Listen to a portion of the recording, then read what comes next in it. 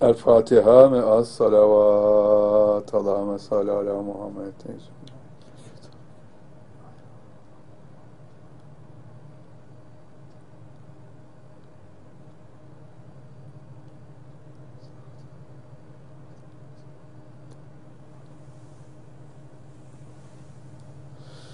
Esselamu Aleyküm ve Rahmetullah ve Berekatuhu. Eyzu billahi mineşşeytanirracim. Bismillahirrahmanirrahim. Sevgili öğrenciler, izleyenler, dinleyenler, sevgili kardeşlerim, can dostlarım, gönül dostlarım. İşte bir yeni sohbette gene bir aradayız. allah Teala'nın bizi bu beraberliğe ulaştırması sebebiyle ona sonsuz hamd ve şükrümüz var. Ve bir sualler ve cevaplar faslında sevgili kardeşlerim sual soran bütün kardeşlerimize bir defa daha teşekkür etmek istiyorum. Onların sordukları bu suallerdeki incelikler sebebiyle hepinizin konulara daha daha daha çok vakıf olması mümkün oluyor.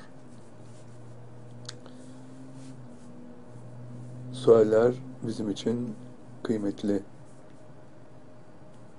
Elbette suallerin sahipleri de. Sevgili kardeşlerim, hepinizi ama hepinizi çok sevdiğimizi bilmenizi istiyorum. Sevgi allah Teala'dan gelen bir müessese, ruhumuzun hasretlerinden bir tanesi, Yoksa sizler de bizi seviyor musunuz? Çok sevin diye dua ederiz inşallah. Kalp kalbe karşıdır. allah Teala bizleri, bizim onu sevdiğimizin yüzlerce, binlerce katı fazla sever. Öyleyse sevelim ki başkaları da bizi sevsin. Başkalarına en güzel davranışları sergileyelim ki onlar da bize en güzel davranışları sergilesin. Allah hepinizden razı olsun. İnşallah suallere giriyorum. Birinci sual Doktor Abdülcebbar Boran'dan geliyor. Diyor ki Cebbar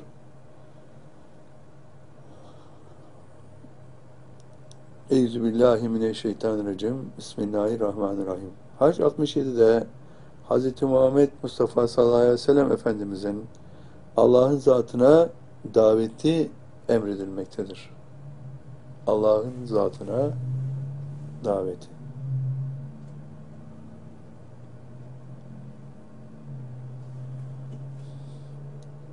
Müminin 73'te Rabbimiz Peygamber Efendimiz sallallahu aleyhi ve selleme şüphesiz sen sıratı müstakime davet ediyorsun buyuruyor. Bu iki ayete dayanarak Allah'a dünya hayatında ulaşmayı dileyenlerin Allah'ın hidayet yolu olan sıratı müstakimin başlangıcı olan sıratı seviye üzerinde olacaklarını söyleyebilir miyiz? diyor.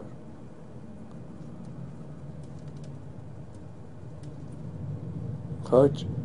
67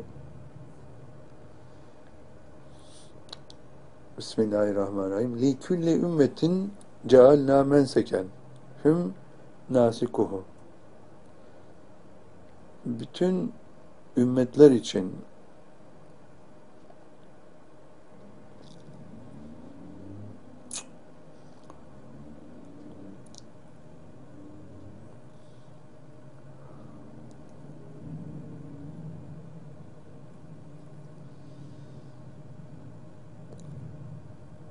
tek bir yol, şeriat kıldık.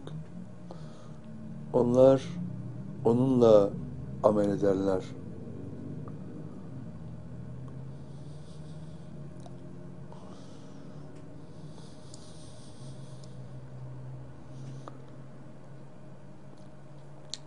Ve la yunaziunneke fil emri ved'u ila rabbik.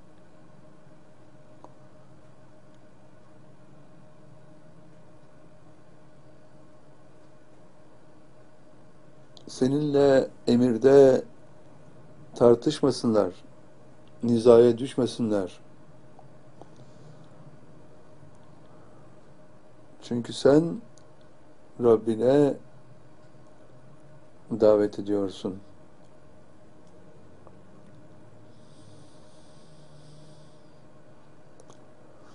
İnneke le ala hüden müstakim. Muhakkak ki sen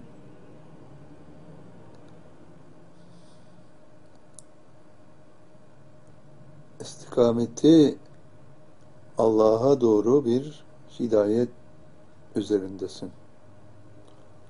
Üzeresin.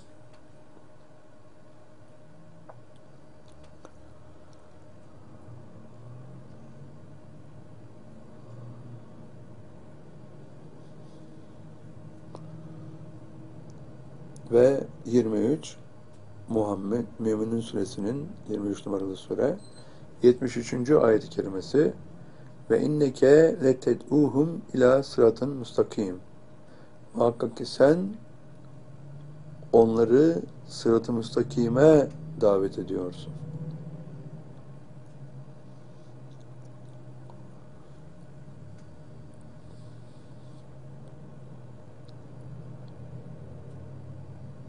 Ve Yusuf suresi 108. ayet-i kerimesi allah Teala buyuruyor Habibim de ki benim ve bana tabi olanların bizim hepimizin basiret üzere yani kalp gözümüzdeki basar hastasıyla Allah'ı görerek Allah'a davet ettiğimiz yol işte bu yoldur.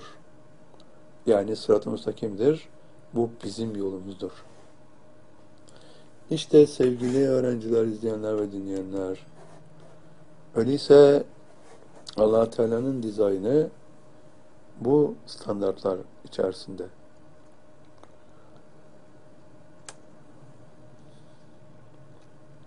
Şimdi ayetleri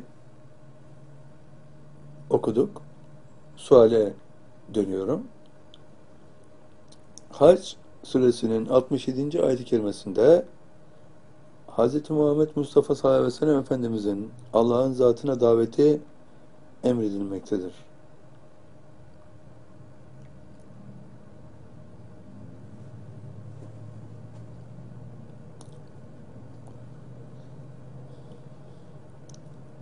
Burada Vedu ila Rabbik ve Allah'a davet et ifadesi var. Vedu ile Rabbike Rabbine davet et.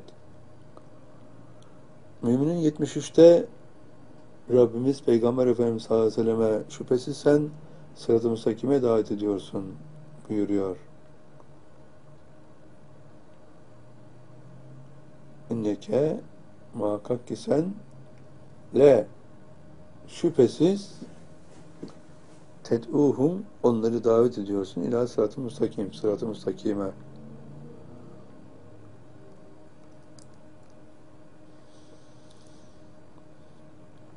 Allah Teala iki defa garanti etmiş olayı. Bir, inne kullanmış. İnne muhakkak ki ke sen.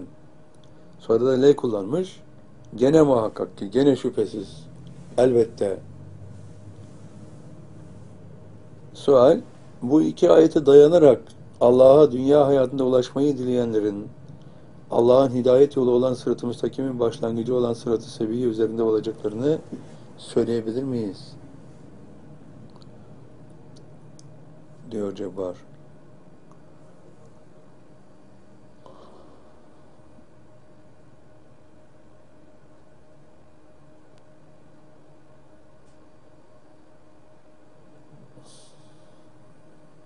Burada bir davet var ve bu davetin muhtevası var. Muhakkak gidiyor allah Teala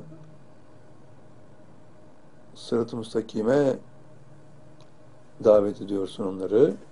Bir emir, Rabbine davet et,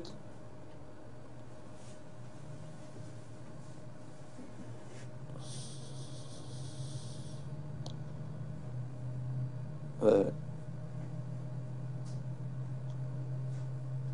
istikamet üzere olan bir hidayet üzeresin diyor. Allah'a doğru bir istikamet üzere olan yani sırat-ı müstakim üzerindesin. Öyleyse sırat-ı müstakimin başlangıcı olan bir sırat-ı seviye Hac 67'de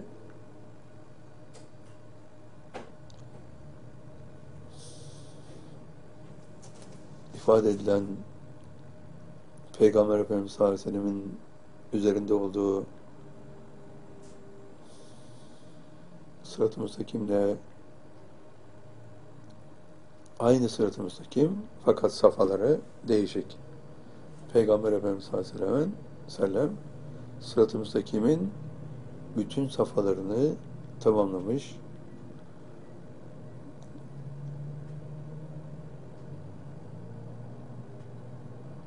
Ruhun, veçin, nefsin ve iradenin sırat-ı müstakimlerini tamamlamış. Tamamlayanlar da sırat-ı müstakimden ayrılmış değiller.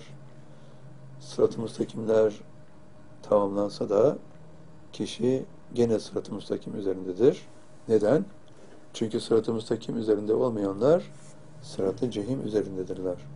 Öyleyse Peygamber Efendimiz sallallahu aleyhi ve sellem başta olmak üzere bütün sahabe sırat-ı müstakim üzerindeydiler. Ve sahabe adını verdiklerimiz Tövbe suresinin 100. ayet-i kerimesine göre ruhun da ve de nefsin de iradenin de sırat-ı müstakimini tamamlamışlardı. Ve gene sırat-ı müstakim üzerinde olmaya, olmakta devam ediyorlardı ve insanları sırat-ı müstakime çağırıyorlardı. Öyleyse Allah'a dünya hayatında ulaşmayı diyenlerin Allah'ın hidayeti olan sırat-ı müstakimin başlangıcı olan sırat-ı seviye üzerinde olacaklarını söyleyebilir miyiz diyor. Elbette ifade onu söylüyor. Davet söz konusuysa davetten sonradır davete icabet. Davete icabet edecekler de önce birinci sırat-ı müstakimin üzerinde olacaklar. Bu sıratı seviye diyor allah Teala buna. Geçen seferde bu konuyu beraberce incelemiştik. Sıratı seviyeye bana tabi ol, seni sıratı seviyeye ulaştırayım ifadesi söz konusuydu Hazreti İbrahim. Babasına söylüyordu. Ama sıratı seviyeye ulaşıp tabi olabilmesi için tabi olabilmesi için önce Allah'a ulaşmayı dilemesi lazım. Dilemesiyle sıratı seviyeye ulaşacak. Tabi olunca da ruhu vücudundan ayrılıp sıratı seviyenin ötesi olan sıratı müstakime ulaşacak. Öyleyse başlangıç noktası sıratı seviyedir. İlk sırat, üçüncü basamaktan başlayan, on dördüncü basamağa kadar ulaşan imajiner bir sıratı müstakim. Tıpkı fizik vücudun sıratı müstakimi gibi, tıpkı nefsin sıratı müstakimi gibi, tıpkı iradenin sıratı gibi.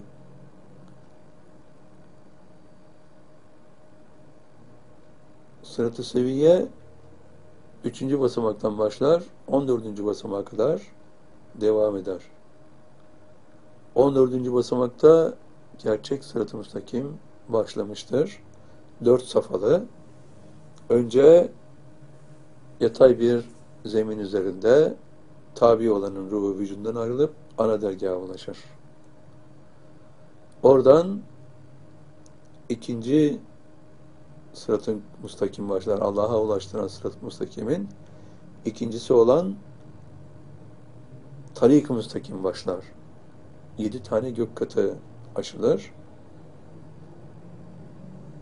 Yedinci kata ulaşılınca üçüncü sırat-ı müstakim sırat-ı müstakimin Allah'a ulaştıran sırat-ı müstakimin üçüncü safhası başlar.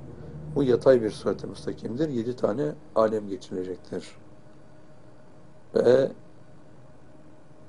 indi ilahinin Siddetli müntehası göründüğünde oradan yukarıya doğru dikey bir sırat-ı müstakimle dikey bir sebille dört sırat-ı müstakim tamamlanacaktır. Allah'a ulaştıran sırat-ı müstakimin dört sebili.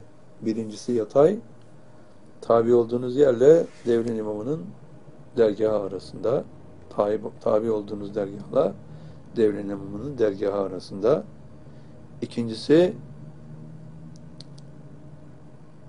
dikey bir sırat-ı müstakim, dikey sebil, adı tarik-ı müstakim. Yedi tane gök katını aşıyor. Üçüncüsü yatay sebil, yedi tane alemi soldan sağa aşıyor.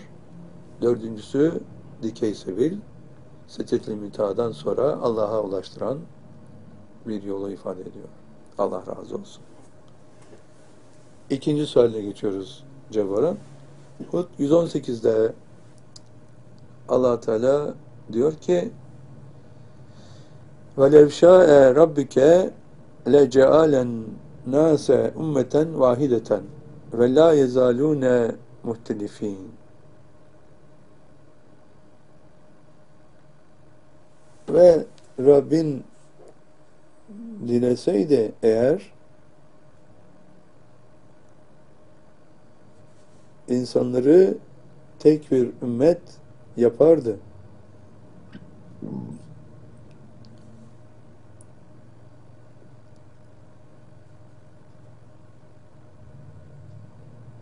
Ve la yezalune muhtelifin. Oysa ihtilaflar devam edecek.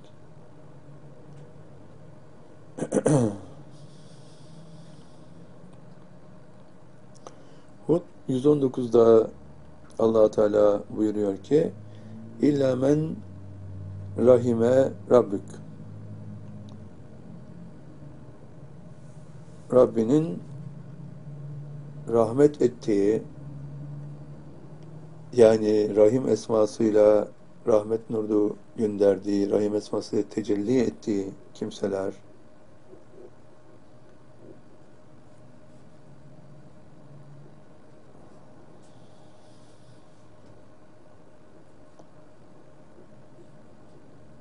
Yani ihtilafa düşmeyip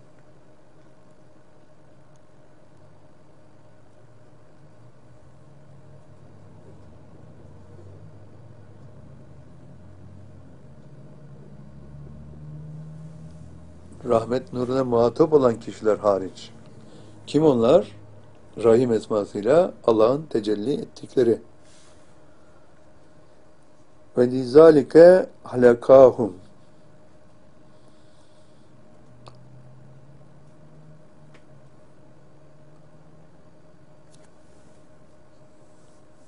insanları bunun için yarattı. Yani ihtilafa düşenlerle düşmeyenleri ayırmak için.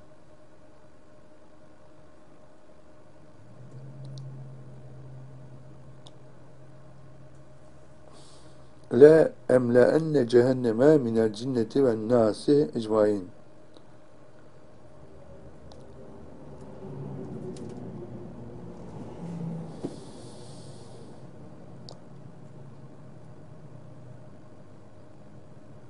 Ve temmet kelimeti Rabbike var. Bunu atlamışız.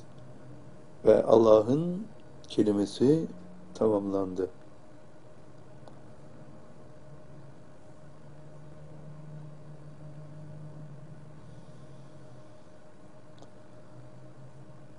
Cehennemi mutlaka insanlarla ve cinlerle dolduracağız. Dolduracağım diyor allah Teala. Le emleenne cehenneme minel cinnete ve nasi ecmain.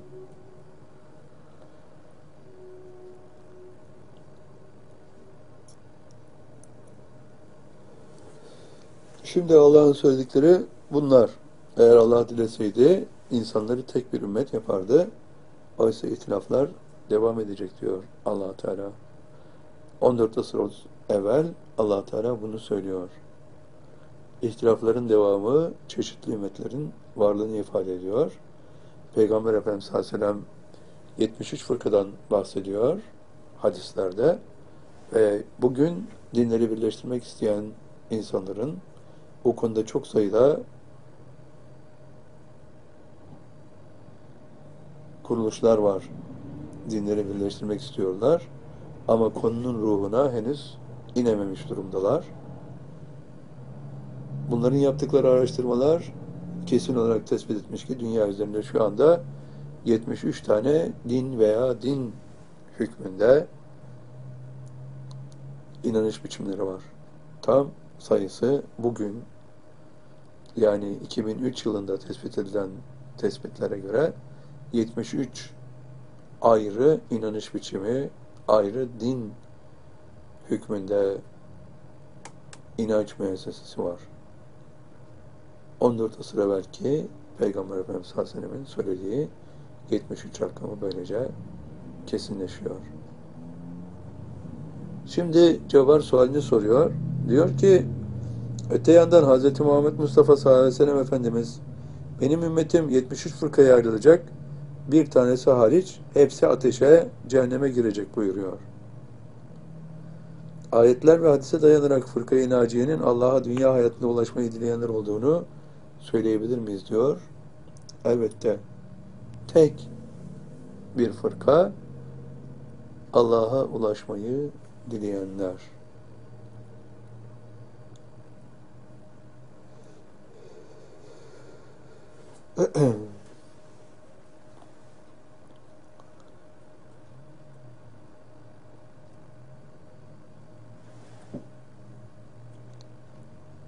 allah Teala kimlerin hariç olduğunu çok net bir şekilde anlatmış. Rabbinin İlla men rahime rabbik.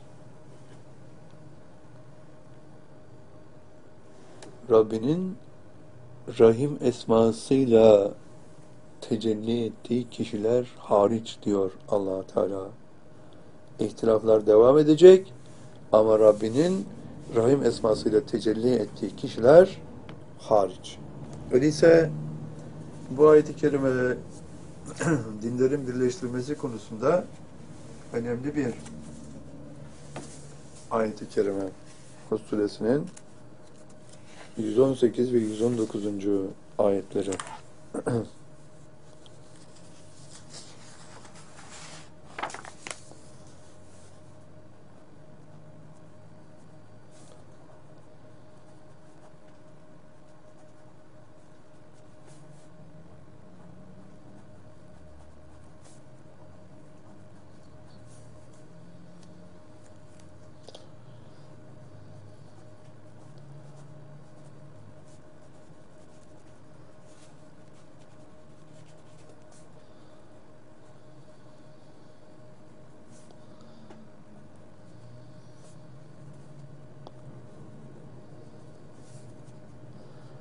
etraflar devam edecek. Rabbinin Rahim esmasıyla tecelli ettiği kişiler hariç cehennem insanlar ve cinlerle tamamen doldurulacak.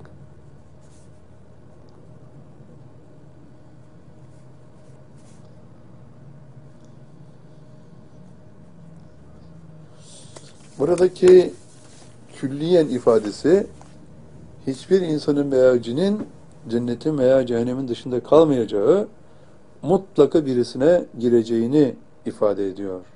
Ecmain diyor hepsini. İstisnasız bütün insanlar ve cinler mutlaka ya cennete ya cehenneme girecek. Burada cehennemi mutlaka cehennem ne kadar insanı ne kadar cini alabilecekse o kadar insan ve cin yaratılıyor ve onların hepsi, cehenneme gidecek olanların hepsi cehenneme gidiyor. Sadece Allah'a ulaşmayı dileyenler hariç. Elbette bu 119'la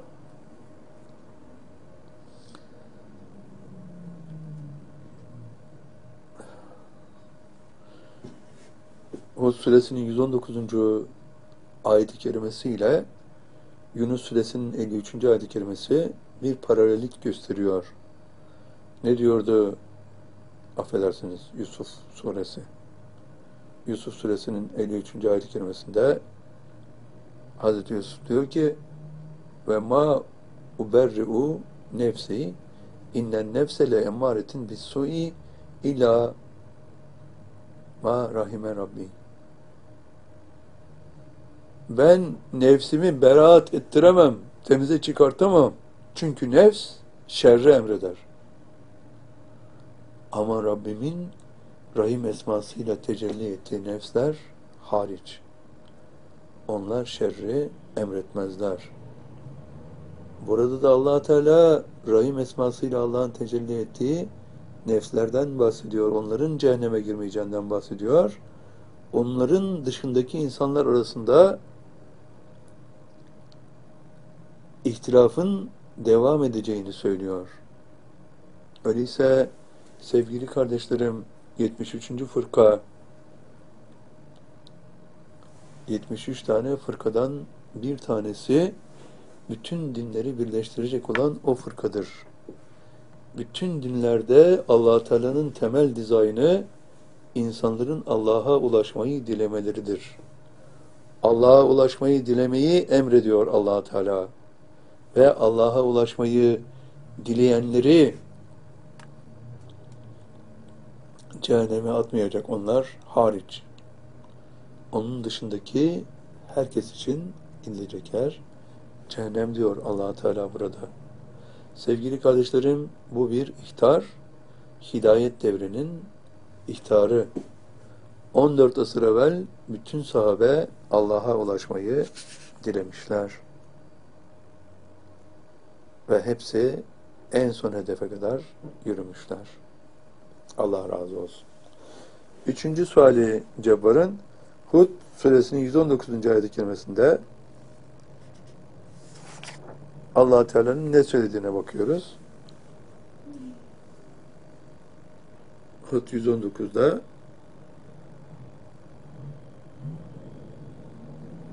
allah Teala diyor ki ve onları insanları bunun için yani ihtilafa düşenlerle düşmeyenleri ayırmak için yarattı.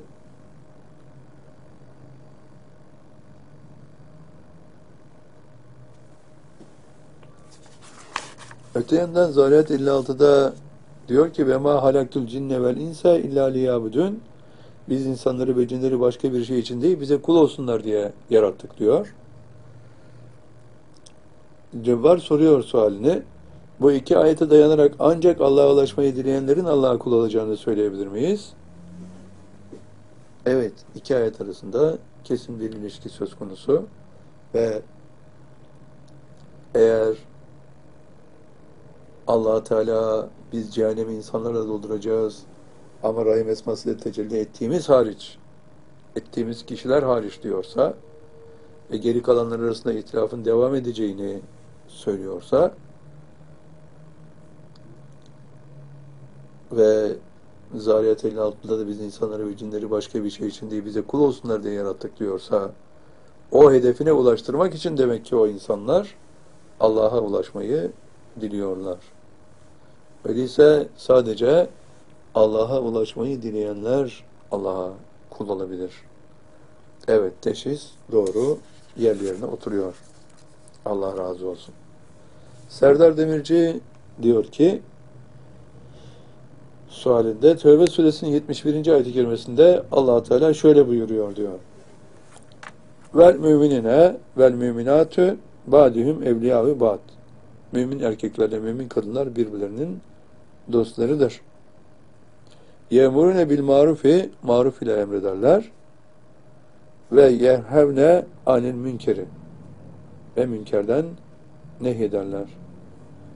Ve yukumune salate ve namazı kılarlar ve yutune zekate zekatı verirler ve yutiunallâhe ve Allah'a itaat ederler ve Resulehu onun Resulüne itaat ederler. Ulaike se yerhamuhumullahu İşte Allah onlara rahmet edecek. İnnallâhe azizün hakim. Muhakkak ki Allah azizdir, hakimdir diyor. Allah onlara rahmet edecek. Yani Rahim esmasıyla tecelli edecek. Biraz evvelki Hud 118'de de aynı şey vardı. Hud suresinin 118. ayet ayetinde ihtilafların devam edeceğini söylüyor.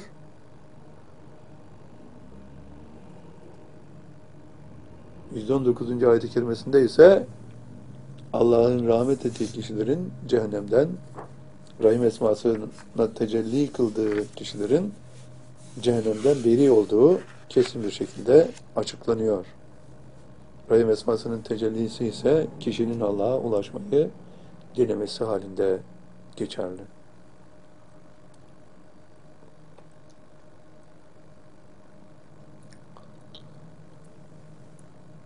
Şimdi bu durumda birinci suali Serdar'ın İnşallah bu ayeti kerimede buyurulan Allah'ın rahmetini açıklar mısınız diyor. Bu ayeti kerimede buyurulan Allah'ın rahmetini açıklar mısınız? Burada rahim esmasının sonucu mu vardır diyor. Elbette sonucu vardır. Allah'ın rahmet ettiği kişiler kimdir? Sonradan mümin olacak olan sonradan değil, rahmet ettiği anda mümin olacak olan erkekler ve kadınlar.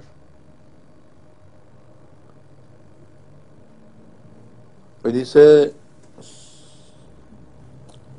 kim Allah'a ulaşmayı dilerse o kişi küfür hüviyetinden kurtulmuştur.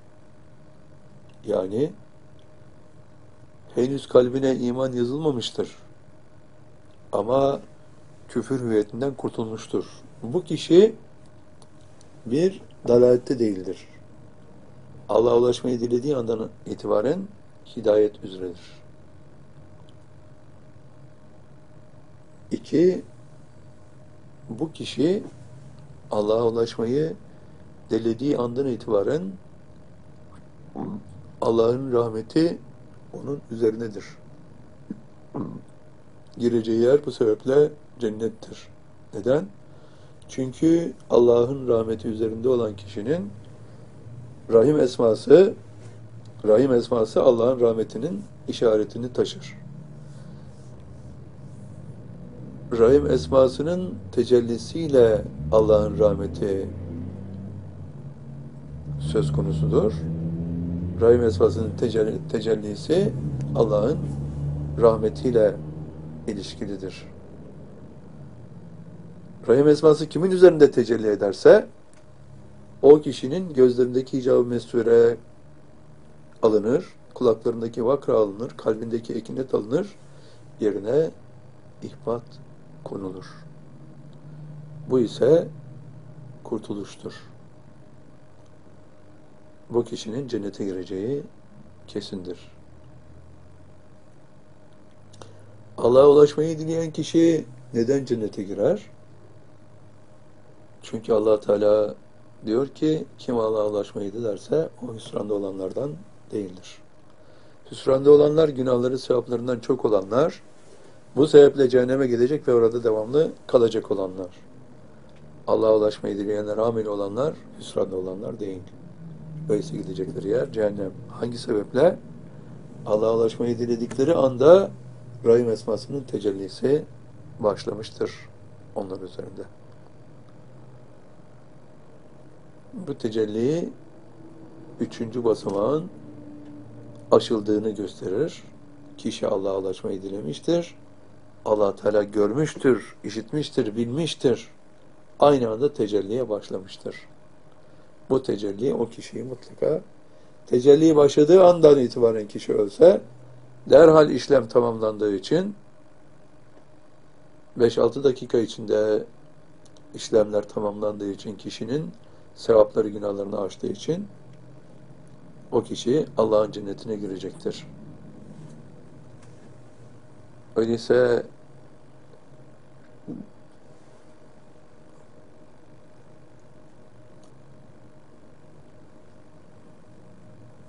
Allah'ın rahmetinde Allah'ın rahim sonucu vardır. Ve Büyük Suresinin 8, 9, 10. ayetleri de bunu açıklıyor. Cehennem bekçileri diyor cehenneme gelenlere derler ki size nezir gelip de buraya cehenneme gel geleceğinizi söylemedi mi? Allah'a ulaşmayı dilemiyorsunuz. Arkasında bu mana var. Allah'a ulaşmayı dilemiyorsunuz. Gideceğiniz yer cehennemdir. Demedi mi? Onlar da derler ki dediler. Bize Resuller, Resul, e, nezirler geldi. Zümer suresinin 71. ayet-i kerimesinde de Resuller geldi deniyor. Aynı sonuca ulaşıyor iki ayet-i kerime. Resuller aynı zamanda nezirdirler. Geldi ve bize dediler ki buraya cehenneme geleceksiniz. Allah'a ulaşmayı dinemiyorsunuz. Allah'ın emirlerini yerine getirmiyorsunuz. Biz onlara dedik ki Allah hiçbir şey indirmemiştir. Ve biz sizin dalalette olduğunuzu düşünüyoruz. Resul'e inanmıyor, onun dalalette olduğunu düşünüyor. Ona veya herhangi bir Resul'e hiçbir kitabın indirilmediğini söylüyor. Kitap inancı da yok kişinin ve eğer biz onun söylediklerini işitmiş olsaydık, kulaklarında vakra var kişinin ki işitmiyor ve idrak etmiş olsaydık, akıl etmiş olsaydık, kalbinde ekinnet var, idrak edemiyor.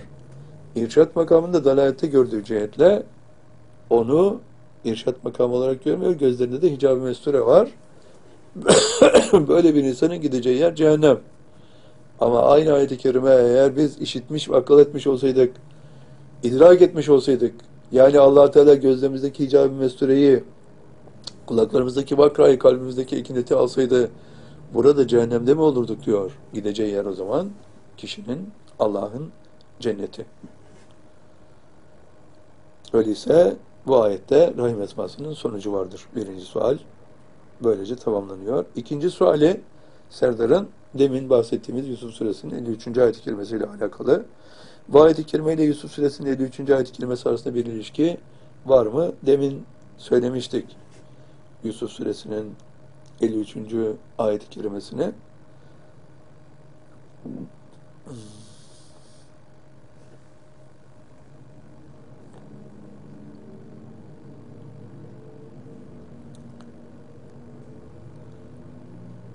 Sevgili öğrenciler, izleyenler ve dinleyenler,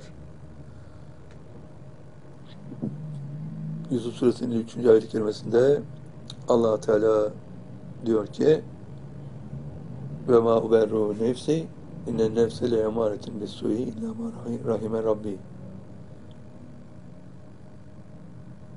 inne rabbi gafurun rahim ya Hazreti Yusuf diyor ki ben nefsimi beraat ettiremem. Çünkü nefs bana nefs şerri emreder. Bana kelimesi yok. Çünkü nefs şerri emreder.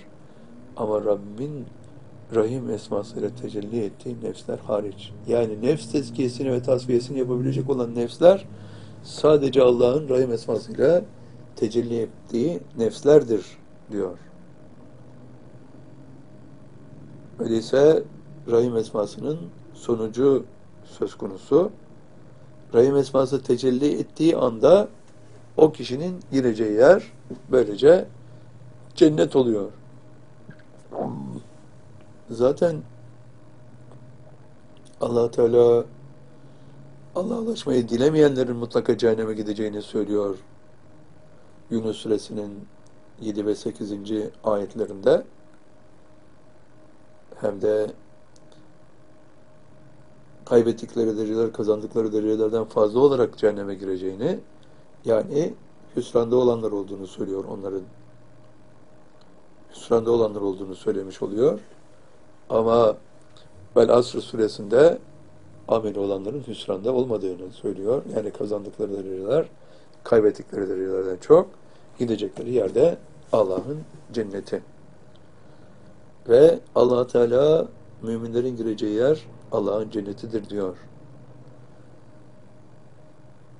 Öyleyse mümin olmanın cennet ve cehennemle kesin bir alakası var. Bütün kafirlerin gideceği yer cehennemdir.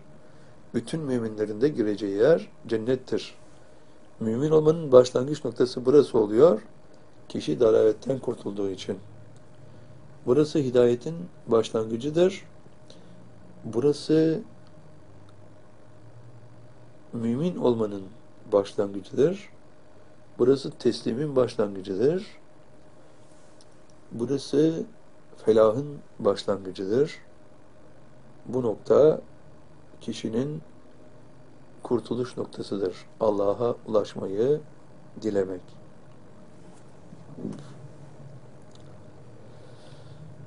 Rahim esmasıyla tecelli varsa kurtuluş kesindir. Kim Allah'a ulaşmayı dilerse Allah onları mutlaka kendisine ulaştırır diyor allah Teala Şura 13'te ve bu durumda kişiyi aşıyor olay. Allah'a ulaşmayı dileyen mutlaka Allah'a ulaşacak. Allah'a ulaşmayı dilediği andan itibaren de kişi kurtuluşta. Öyleyse Tövbe suresinin 71. ayeti kerimesi Allah onlara rahmet edecek ifadesiyle geliyor. Allah'ın rahim esması üzerlerinde tecelli edecek diyor. Öyleyse rahim esmasının tecelli ettiği insanlar mümindir ifadesi burada Tövbe 71'de kesinleşiyor. Tövbe 71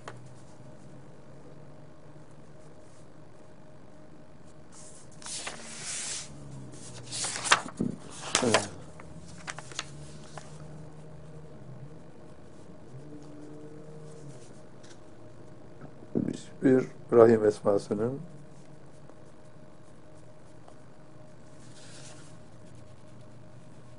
tecelli ettiği kişiler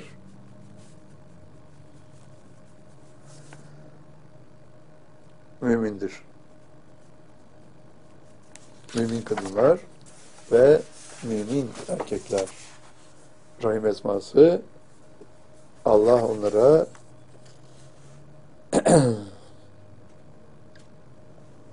Rahim esmasıyla tecelli edecek diyor allah Teala.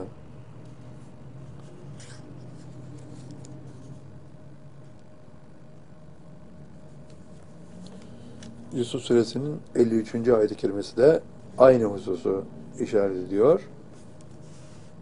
Kurtuluş kesindir. Öyleyse mümin olmanın başlangıç noktasının Allah'ın rahmetiyle açıldığı kesin. Allah'ın rahmeti varsa, Allah'ın rahim esmasıyla tecellisi söz konusuysa, burada allah Teala se yerha muhullah diyor. Allah onlara rahim esmasıyla tecelli edecek diyor allah Teala.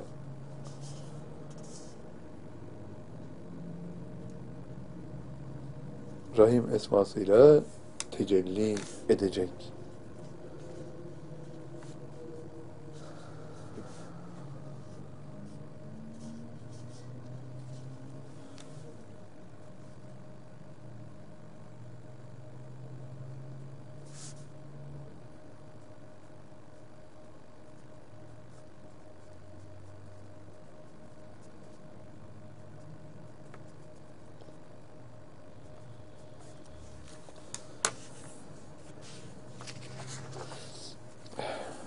Şimdi bir yeni sualini soruyor Serdar. Üçüncü suali. Bu ayet-i kerimelerle Nur suresinin 21. ayet-i kerimesi arasında bir ilişki var mıdır diyor. Bakıyoruz. Nur 21'e. Ya eyyühellezine amenu la tettebi'u hduvetü şeytanu. Ey amin olanlar şeytanın adımlarına uymayın. Tabi olmayın. Ve men yettebi hütüvetü şeytani fe innehu yemuru bil fahşai vel münkeri. Kim şeytanın adımlarına uyarsa o fuhuşla ve münkerle emredilir. Yani şeytan onları onlara fuhuşla ve münkerle emreder. Ve levla fadlullahi aleyküm ve rahmetuhu ma zekke min ehadin ebeden. Eğer Allah'ın rahmeti ve fazlı üzerinize olmazsa ebediyen nefsinizi teskiye edemezsiniz diyor allah Teala. Velakin Allah yüzekki men yeşâ'ü Allah dilediğinin nefsini teskiye eder. Vallahi semîn alim. Allah işitir ve bilir. Öyleyse bu ayet-i kerimelerle Nur suresinin 21. ayet-i kerimesi arasında bir ilişki var mı? İnsanın şeytanın adımlarına tabi olmaktan kurtulduğu yer Allah'ın rahmetinin ve fazlının kişinin üzerinde olması hali.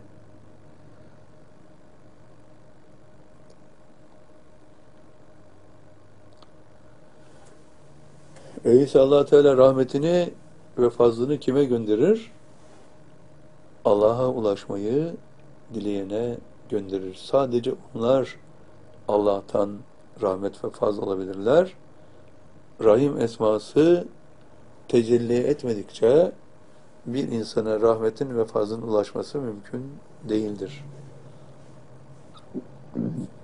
Bu sebeple allah Teala 9. basamakta kişinin göğsünden kalbine nur yolunu açar.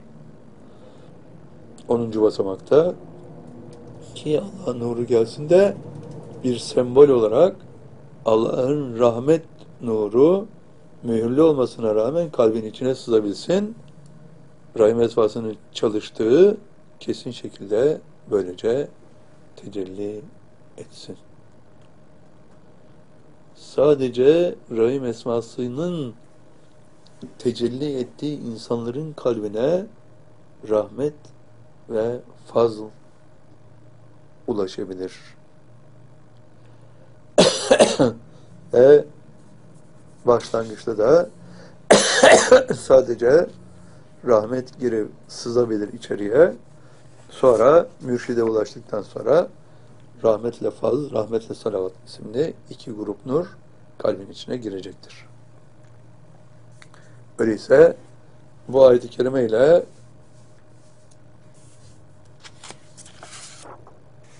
Nur suresinin 21. ayet-i kerimesiyle yukarıdan beri anlatılan Tövbe 71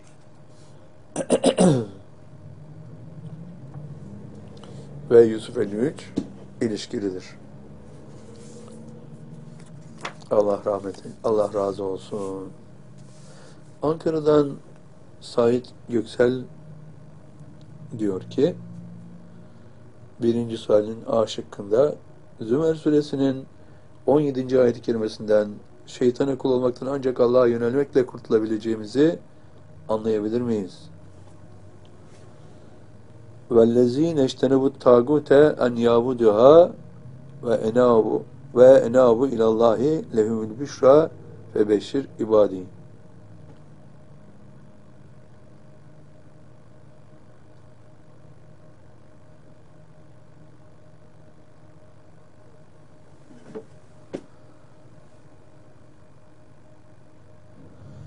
Zümer suresinin 17. ayet kelimesi Yunus suresinin 62. ayet kelimesiyle aynı. وَالَّذ۪ينَ اَشْتَنَمُوا التَّاغُوتَ اَنْ يَعْبُدُهَا وَاَنَابِ اِلَى اللّٰهِ لَهُمُ الْبِشْرَى فَبَشِّرْ ibadi.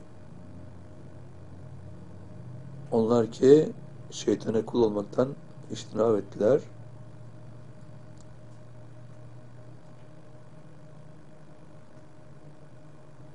Ve Allah'a kul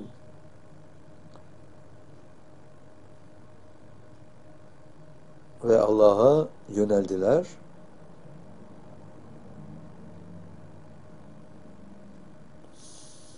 Onlar için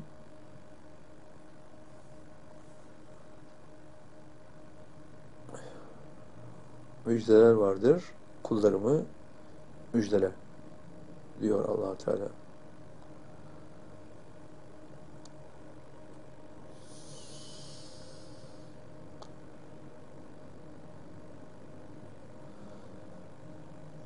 Zümer suresinin 17. ayet kelimesinden şeytana kul olmaktan bir insanın ancak Allah'a yönelmekle kurtulacağını görüyoruz. Allah'a yönelmekse Allah'a ulaşmayı dilemektir. Sadece şeytana kul olmaktan kurtulanlar Allah'a ulaşabileceğine göre allah Teala zaten bunu Şura suresinin 13. ayet kelimesinde söylüyor. Allah kullarından dilediğini kendisine seçer ve onlardan kim Allah'a yönelirse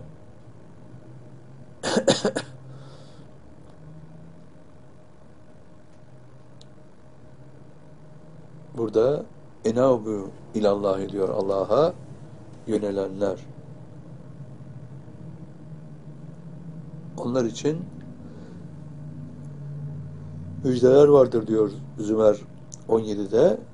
allah Teala Şura 13'te de onları kendisine ulaştırır diyor.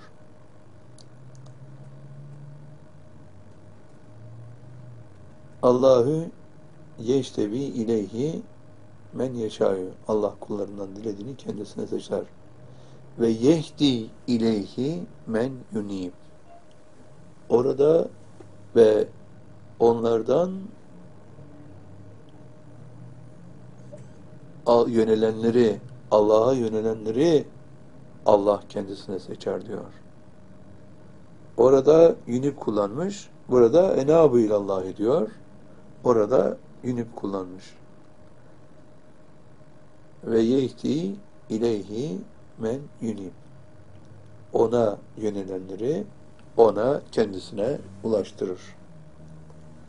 Öyleyse şeytana kul olmaktan ancak Allah'a yönelmekle kurtulabileceğimizi anlayabilir miyiz? Evet, şeytana kul olmaktan ancak Allah'a yönelmekle kurtulabiliriz. Bu Zümer suresinin 17. ayet kelimesi burada açık bir gerçek veriyor. Zaten sahabeyi anlatıyor ayet-i kerime.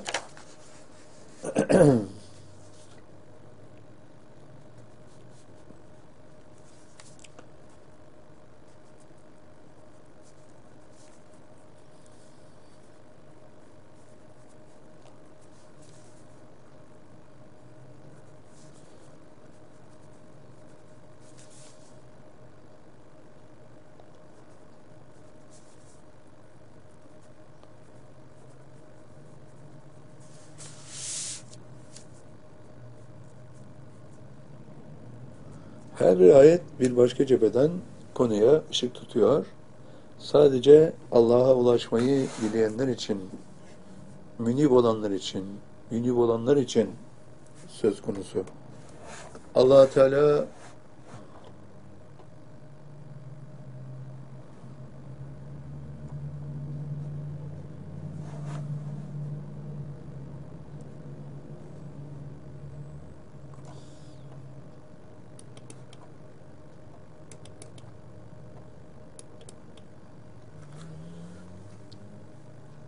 Zümer 17'de açık bir şekilde bu hususu ifade etmiş. Şimdi B şıkkında Said'in söylediklerine bakıyoruz. Bu ayet-i kerimede belirtilen kulluğun üçüncü basamakta ulaşılan aminular kulluğu olduğunu söyleyebilir miyiz?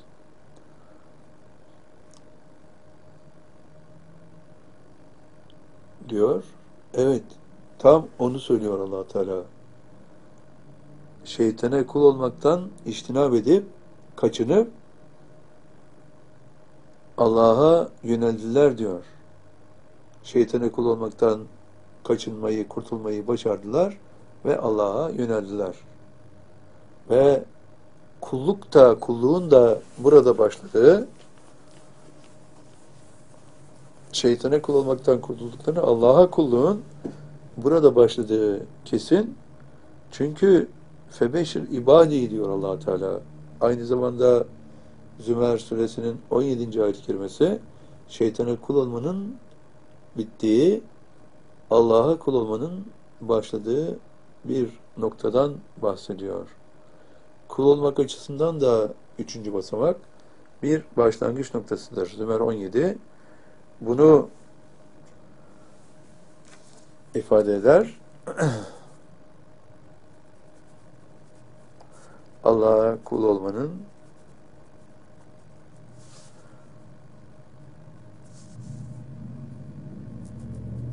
başlangıcı.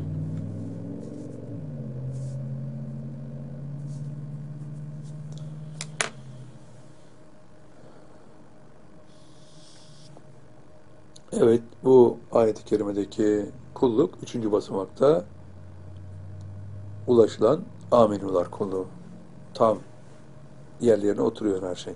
İkinci suali e, Said'in diyor ki Zümer suresinin 23. ayet-i kerimesini del bahsederek diyor ki Zümer suresinin 23. ayet-i kerimesine belirtilen Allah'ın zikre ile inen nurlarla Rabbe huşu duyma ve hidayete erme arasındaki ilişkiyi açıklar mısınız diyor. Şimdi Zümer 23'e bakıyoruz. Allahü nezzele ahsenel hadisi kitaben müteşabihen mesaniye takşeürü münhü birer birer açıklayarak gidelim. Allahü nezzele ahsenel hadisi kitaben müteşabihen mesaniye. Allah ikişer ikişer ve kitaba müteşabih olarak ihtas ettiği, ettiklerini ihtas ettiklerinden ahsen olanları indirir. Hadis söz anlamına geliyor. Hadis ve ihtas kelimesi aynı kökten geliyor. Allah'ın ihtas ettiği, vücuda getirdiği manası da var. Ve burada allah Teala ikişer ikişer indirdiği şeylerin nur olduğunu da anlıyoruz.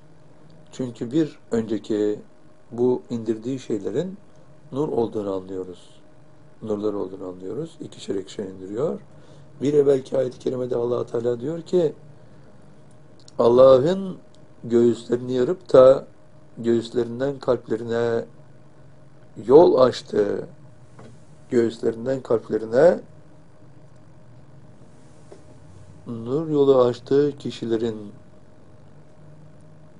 kalbiyle bu yolun açılmadığı kalpleri kasiyet bağlamış kişilerin kalbi bir olur mu diyor allah Teala. Burada açık bir işaret görüyoruz. allah Teala'nın dizaynı bu işareti açıkça ortaya koyuyor. Şimdi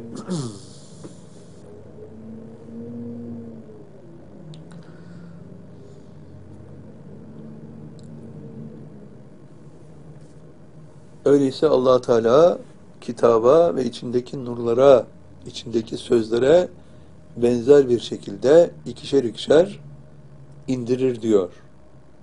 Nelerin indirir? Ayet-i kerimede adını koymamış ama inenler Allah'ın nurları.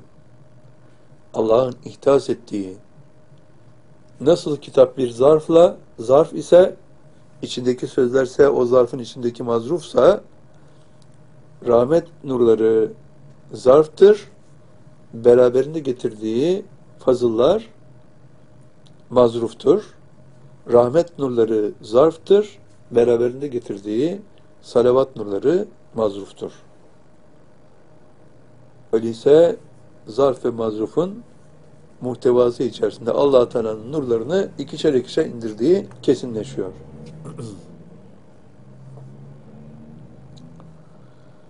Ve arkasından diyor ki allah Teala takşe'irru minhu cülüdüllezine onların derileri bu nurlardan ürperir diyor. Deriler ürperir. Ve yahşevne rabbehum Rablerine karşı huşu duyarlar, huşu sahibi olurlar.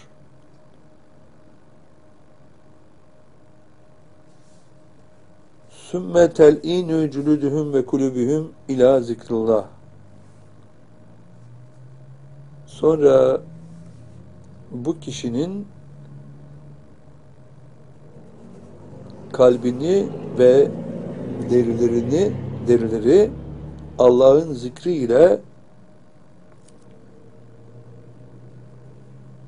bu kişilerin derileri ve kalpleri Allah'ın zikri ile yumuşar. Yani bu bu zikirle gelen nesneler o kişinin kalbinin kalbini ve derilerini yumuşatır.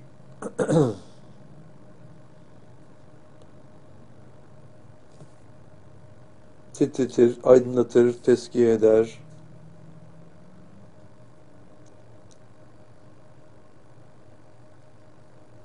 İlâ zikrullah Allah'ın zikri ile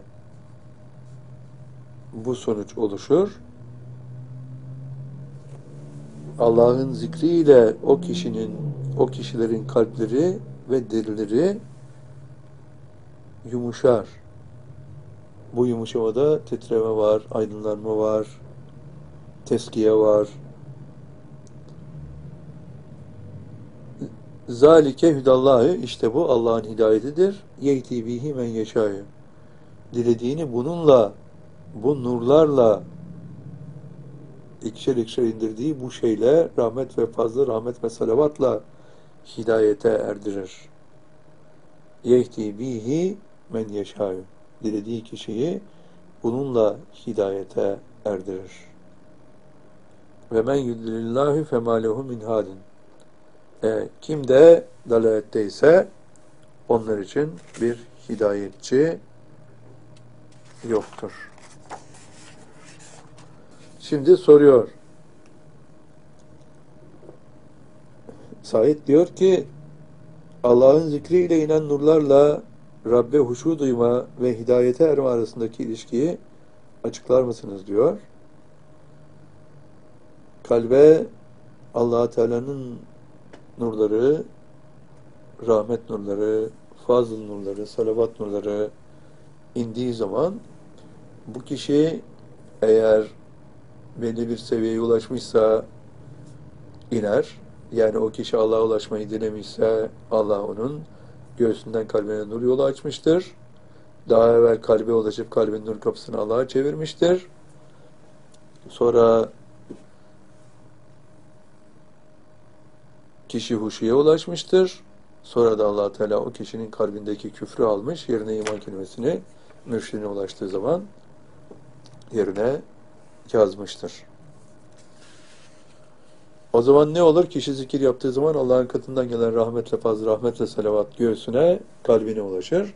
Kalbine, kalbinin mührünü, kalbin alt boyutuna eder. Zulmani kapıyı kilitler ve kalbe giren fazıllar iman kelimesiyle ters çekim güçlerine sahip oldukları için birbirlerine yapışırlar.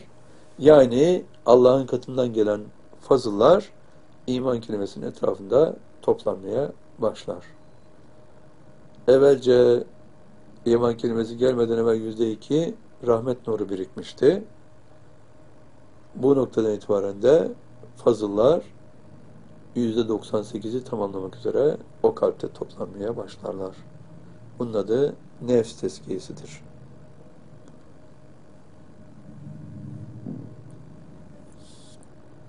Ve bu nurlar, fazıllar nefsin kalbinde toplanmaya başlar. Yüzde her yüzde yedi toplanmada ruh Allah'a doğru bir gök katı yükselir. Ve bu olay yedi defa tekerrür ettiği zaman ruh yedinci gök katına ulaşıp yedi tane alemi aşar. Allah'ın zatına ulaşır. Ulaştığı noktada nefsin kalbinde yedi defa yüzde yedi rahmet birikimi tahakkuk etmiştir.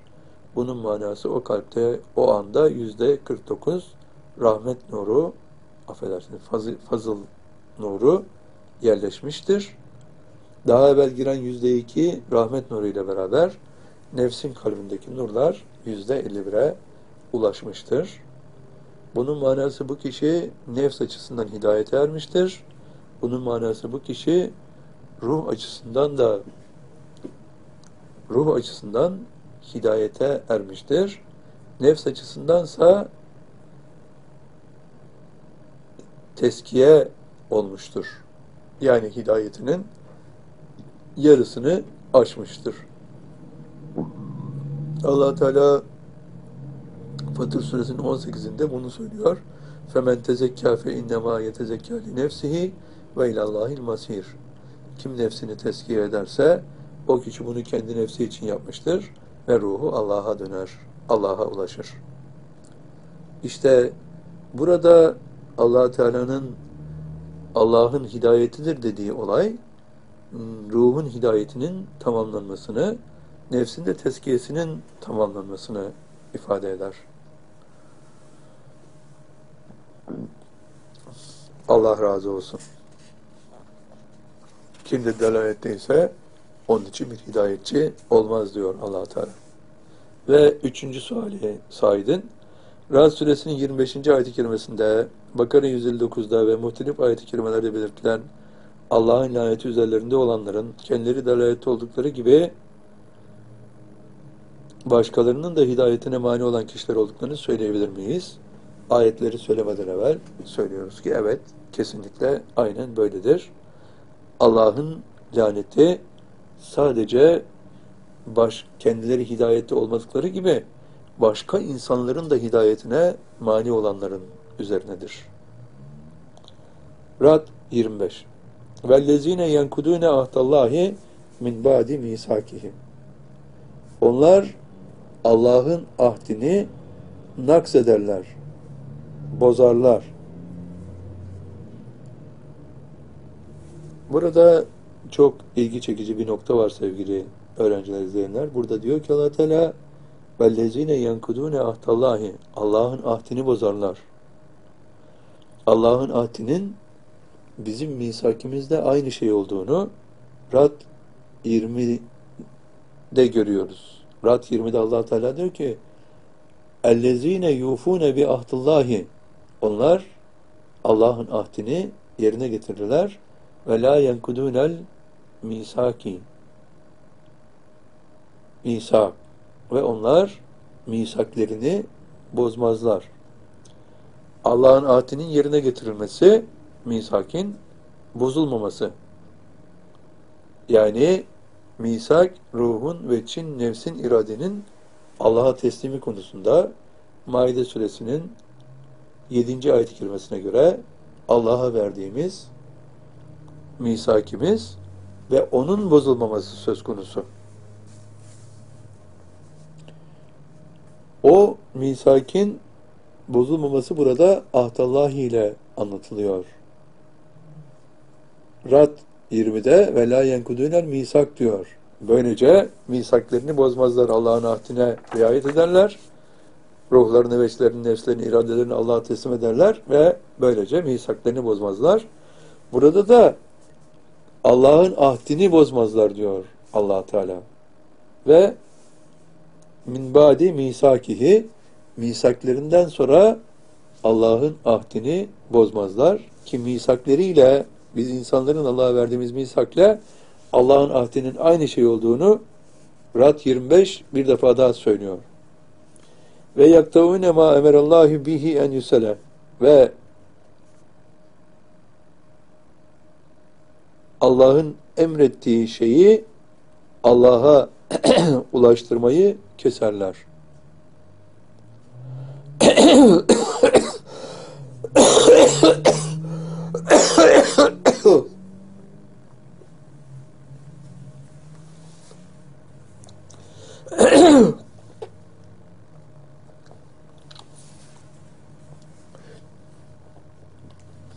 ve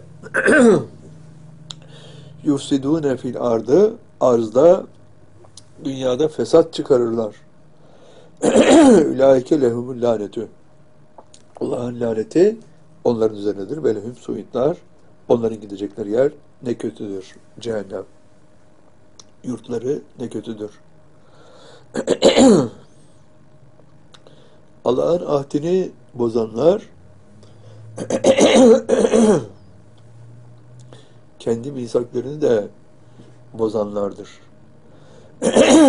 Birinci yaptıkları yanlış Allah'ın Allah'a ulaştırmasını emrettiği şeyi Allah'a ulaştırmamak. O yoksa nefsin teslimi de yok, fizik vücudun teslimi de yok, iradenin teslimi de tabiatıyla söz konusu değil.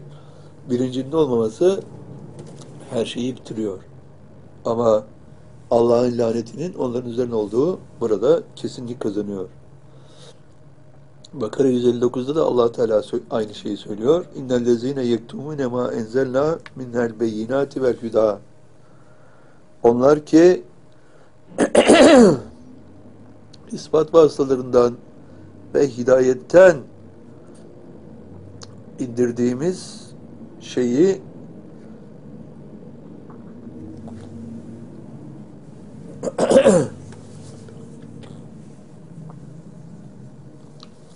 ketmederler, saklarlar.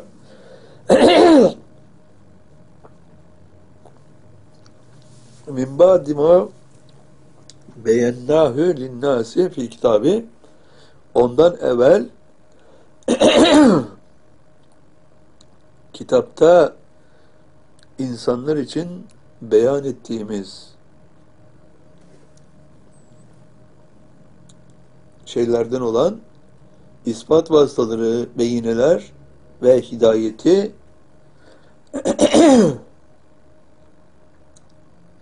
ketmederler, saklarlar diyor allah Teala.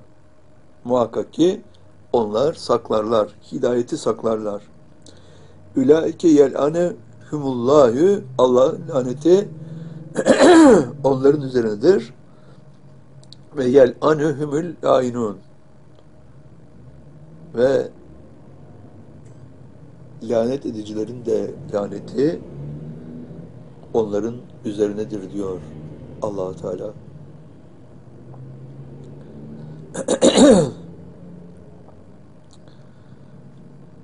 Kendileri dalanettedir. Başkalarını da başkalarının da hidayetine mani olan kişiler onlar Allah'ın laneti üzerlerine olan kişilerdir.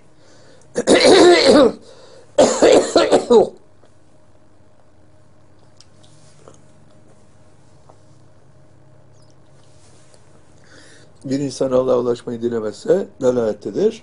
Ama lanet üzerine olmaz. Lanet kimin üzerinedir? Başka insanların da hidayetine mani olanların üzerinedir. Allah razı olsun. Ankara'dan bir öğrencimiz diyor ki Bakara suresinin 200, 201 ve 202. ayetlerini açıklar mısınız?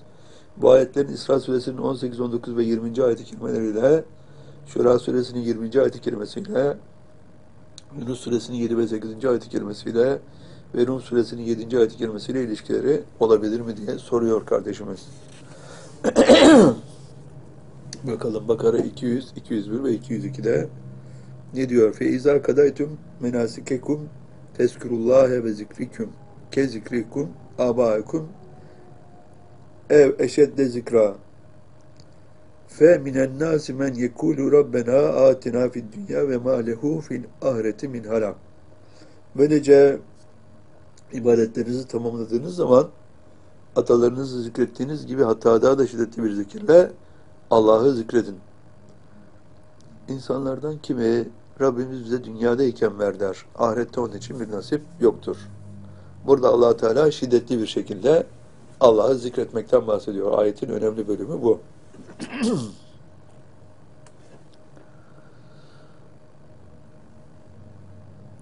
Bakara 201 ve minhum men yekulu rabbena atina fid dünya haseneten ve fil ahirete haseneten ve kına azaben nari. Kimi de Rabbimiz bize dünyada da hasene ver, ahirette de hasene ver. Yani bize ahirette de dünyada da pozitif dereceler ver. Bizi ahirette de dünyada da mutlu kıl. Bizi ateş azabından koru. Cehennemden koru. Bakara 202 Ulaike lehum nasibun mimma kesebu vallahi serivin hesap. İşte onlar ki onlar için kazandıkları kazandıklarından dolayı iktisap ettiklerinden dolayı bir nasip var. Allah hesabı çabuk görendir. allah Teala burada onlar için iktisap ettiklerinden dolayı diyor. Burada da zaten hasene kazanılan derecat demek 201. ayetteki. Öyleyse dünyada da ahirette de hasenat kazanılan dereceler o dereceler sebebiyle ahirette bir nasipten bahsediyor allah Teala. Dünyadayken kişiler derecat kazanıyor, hasene kazanıyor. Ahirette de o kazandıkları dereceden dolayı nasip, yani cennet nasip oluyor onlara. Öyleyse Allah'ı zikreden insanlar bunlar. Allah'a ulaşmayı diledikleri takdirde zikirleri geçerlidir. Neden? Çünkü sadece Rahim esmasının sahibi olanlara zikir yaptıkları zaman Allah'ın rahmeti, fazla ve salavatı gelir. Bu nasip dünyada onları cennette kılacak olan bir nasiptir. Nefslerinin kalbinde fazilet birikimi gerçekleşir. Öyleyse allah Teala'yı zikredenler o haseneye ulaşacak olanlarsa mutlaka Allah'a ulaşmayı dilemiş olmaları söz konusu. Şimdi İsra 18'e geliyoruz.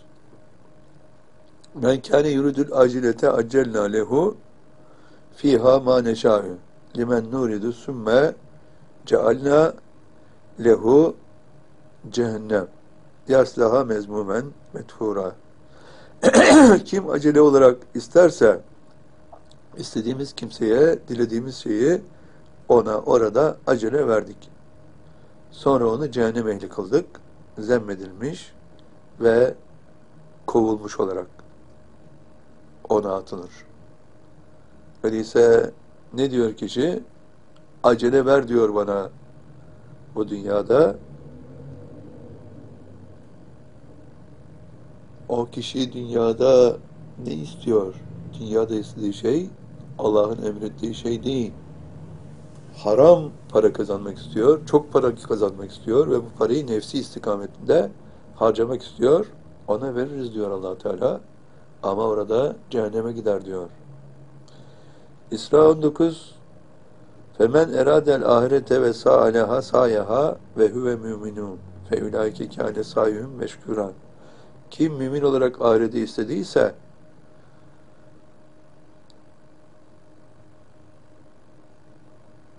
ve onun için yani ahiret için onun gerektirdiği şekilde çalıştıysa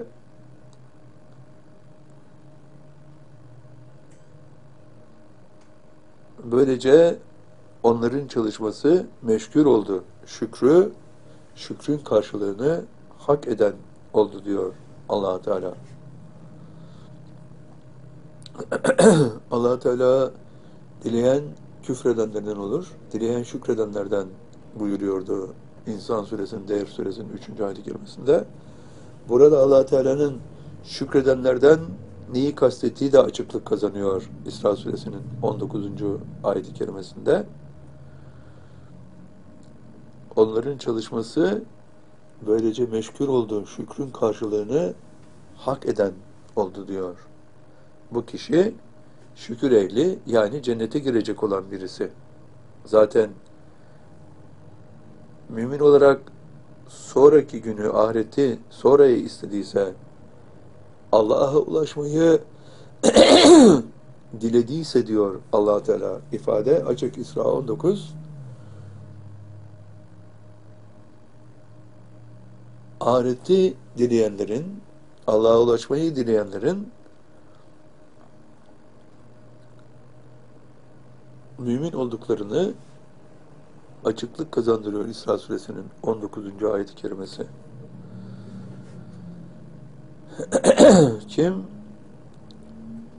ahireti dilediyse, Allah'a ulaşmayı dilediyse,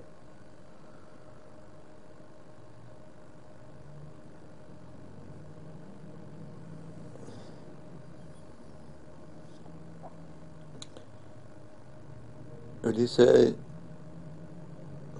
ifade Allah'a ulaşmayı dileyenlerin ulaşacakları bir şükürle sonuçlanıyor. Allah'a ulaşmayı dileyenler sadece onlar şükrü hak edenler. İsra 20 Kullen numiddu hayulâi ve hayulâi min atâi rabbik ve mâ kâne atâhu rabbike mahsura. Bunları herkese yani dünyayı isteyene de ahireti isteyene de veririz. Yani dünyayı isteyene dünyayı veririz, ahiretten alıkoyarız. Ahireti isteyene ahireti veririz. Ve dünya ve ahireti isteyene onlara da dünya ve ahireti veririz manası çıkıyor buradan. Ve bunlar Rabbinin ata yani verdiklerini ihsanlarındandır. Verdiklerindendir. Rabbinin ataları, ihsanları mahsur, kısıtlı, men edilmiş değildir diyor allah Teala.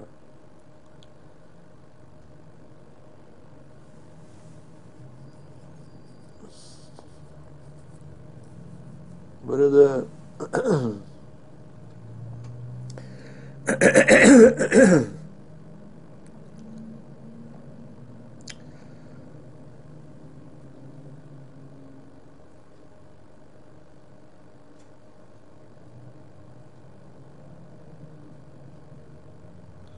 Bakara 200, 201'e 202'de dünya için hasene isteyenler ve ahiret için hasene isteyenler söz konusu. Bunlar Allah'a ulaşmayı dileyenler. Dünyada da hasene istediklerine göre hep derecat kazandıran amellerle işgal, iştigal edecek olan kişiler bunlar. E, buradaki dizayn açık bir şekilde geliyor. Yani o kişiler dünyada da Allah'a ulaşmayı diledikleri için derecat kazananlar, gidecekleri yer Allah'ın cenneti olanlar. Ve allah Teala iktisap ettikleri derecelerden dolayı bir nasip var diyor. Allah'a ulaşmayı diledikleri anda allah Teala onlara dünya için hasene isteyen kişi Allah'a ulaşmayı dileyen kişidir. Sadece onlar için söz konusu bu. Hasene kazandıkları derecelerin kaybettikleri derecelerden fazla olması hali sadece Allah'a ulaşmayı dileyenler için geçerli. Ötekiler için böyle bir husus gerçekleşmiyor hiçbir zaman.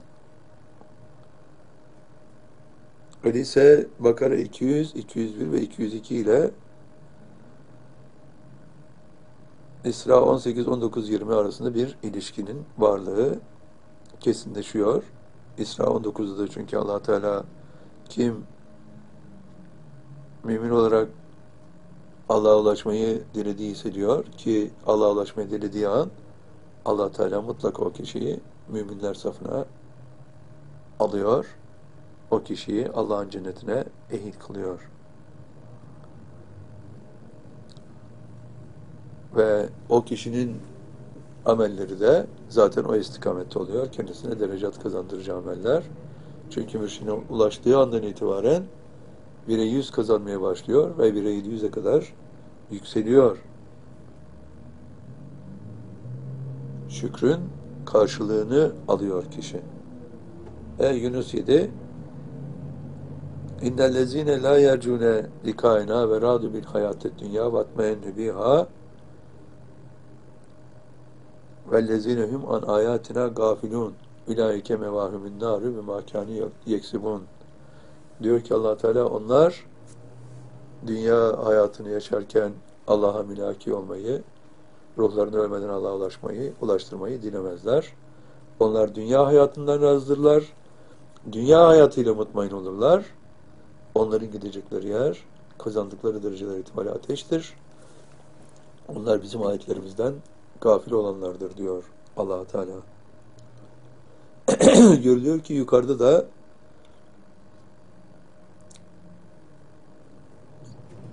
ahireti isteyenler, Allah'a ulaşmayı dileyenler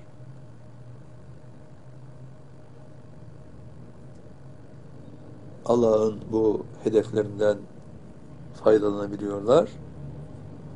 Dünyada hasene isteyenler, Allah'a ulaşmayı dileyenler. Yunus 7 ve 8'de de Allah'a ulaşmayı dilemeyenlerin gidecekleri yerin cehennem olduğu ifade ediliyor.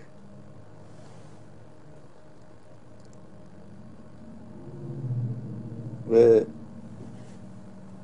Şura suresinin 20. ayet-i kerimesi Men kâne yuridu harsel ahireti nezid lehu fi harsih ve men kâne yuridu harset dünya nutihi minha ve ma lehu fil ahireti min nasib kim ahiret ekinini isterse ahiret hasadını, hasadını isterse, ekinini isterse biz ona kendi ekininde arttırmalar yaparız.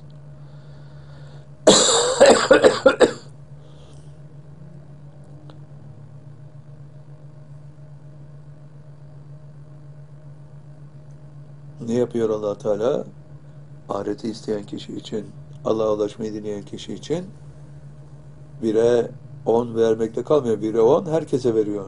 Ama Allah'a ulaşmayı dileyen kişiye bire ondan arttırarak bire yedi yüze kadar ekininde arttırmalar yapıyor. İfade açık olarak görünüyordu. Nerede? Bakara 261'de kim Allah'ın yolundaysa ve Allah'ın kendisine gönderdiği rızıktan infak ediyorsa ki nefsinin kalbine ulaştırdığı rahmet, haz ve salavattan bahsediyor allah Teala. Biz onları bir başağında yedi tane olan, yüz tane olan yedi başaklı bir nevat grubu kadar ihsanda bulunuruz diyor. Bu Şura suresinin 20. ayeti kerimesiyle Bakara suresinin 261. ayeti kerimesi arasında bir illiyet rabıtası var.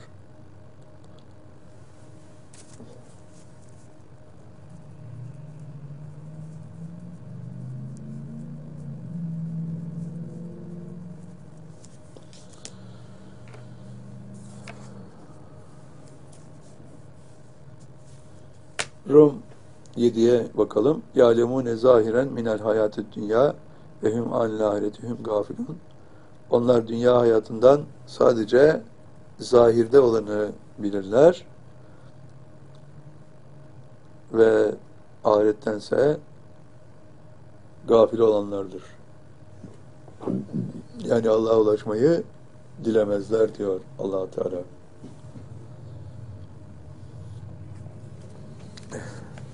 Öyleyse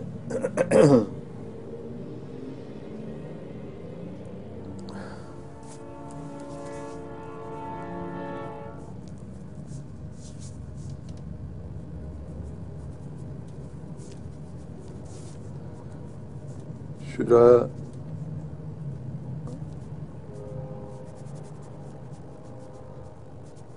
yirminin Bakara 261'le bir niyet rabıtası söz konusu. Şimdi suale dönelim.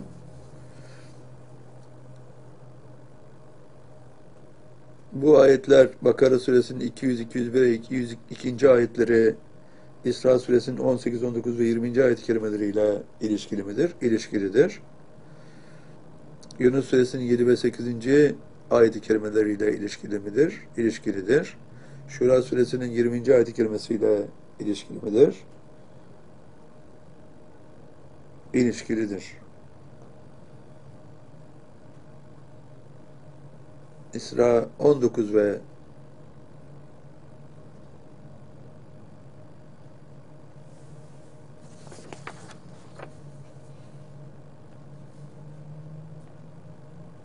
Şura 20 ile de ilişkilidir.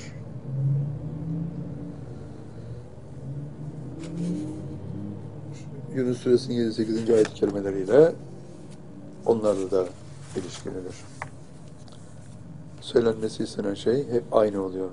İstanbul'dan Hüseyin Dülkadir diyor ki birinci sualin aşıkında Hicr suresinin 9. ayet-i kerimesine göre Kur'an-ı Kerim'in korunmasının Ankebut suresinin 49. ayet-i kerimesiyle bir ilişkisi var mıdır? Hicr 9 İnna nahnu nezzelnez zikre ve inna lehu lehafizun muhakkak ki biz zikri biz indirdik. Onun koruyucuları da mutlaka biziz diyor allah Teala Hicr 9'da. Ankebut 49 Belki ve ayatun beyinatun fi sudurillezine utul ilim. Hayır. O kendilerine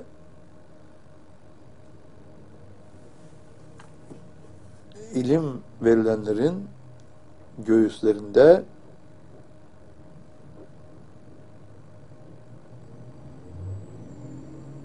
beyinelerdir diyor allah Teala.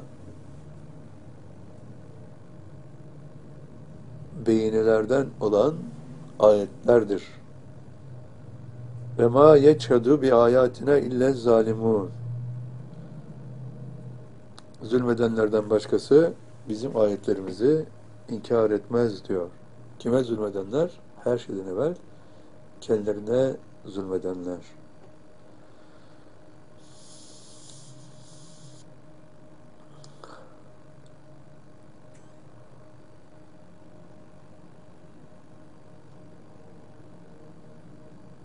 Hicr suresinin 9. ayet-i kerimesine göre Kur'an-ı Kerim'in korunmasının Ankebut suresinin 49. ayet-i kerimesiyle bir ilişkisi var mı?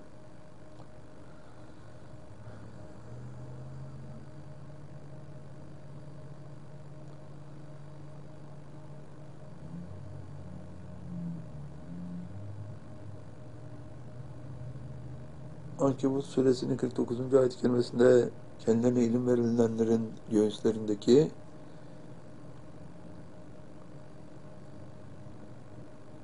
apaçık olan ayetler onların inançlarını ifade ediyor. Sadece zalimler Allah'ın ayetlerini inkar eder diyor allah Teala. Zalimlerden başkası inkar etmez. Kimdir zalimler? Zalimlere beraberce bakalım. Nisa 167 ve 168 zalimleri anlatıyor. İnnellezine keferu ve saddu an sebilillahi kattalu dalalen baida. İnnellezine keferu ve zalemu lem yekunullahi liyafire lehum ve la liyehtiyehum tarika. Diyor ki allah Teala onlar ki kafirlerdir. Onlar muhakkak ki kafirlerdir ve Allah'ın yolundan men ederler. Kendileri Allah'ın yolunda değillerdir, kafirlerdir. Başka insanları da Allah'ın yolundan men ederler. Onlar uzak bir dalalet içindedirler. Onlar muhakkak ki kafirdirler ve zalimdirler. Neden zalimdirler? Başka insanları da Allah'ın yolundan men ettikleri için kafirdirler. Öyleyse kafirler Allah'ın yolunda olmayanlardır. Allah'a ulaşmayı dilemeyenlerdir. Zalimlerse kendileri dilemediği gibi başkalarını da Allah'ın yolundan men edenlerdir. Onlar Allah'ın ayetlerini inkar ederler. Sadece onlar inkar ederler. Çünkü onlar Yunus Suresinin 7 ve 8. ayet-i kerimelerine göre gaflette olanlardır. Allah'ın ayetlerini inkar etmek de onlar için geçerli. Yoksa Allah'a ulaşmayı dileyenlerin hepsi Allah'ın ayetlerini idrak ettikleri için Allah'a ulaşmayı dilemişlerdir.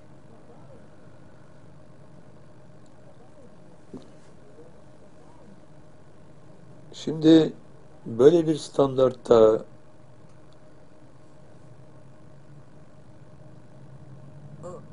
Kur'an-ı Kerim'in korunmasıyla bunun ilişkisini kurmaya çalışıyoruz. Kim Kur'an-ı Kerim'i koruyacaktır? Ona inananlar, Allah'a ulaşmayı dileyenler. Bu açıdan bir ilişki kurulabilir diye düşünüyoruz. Allah razı olsun.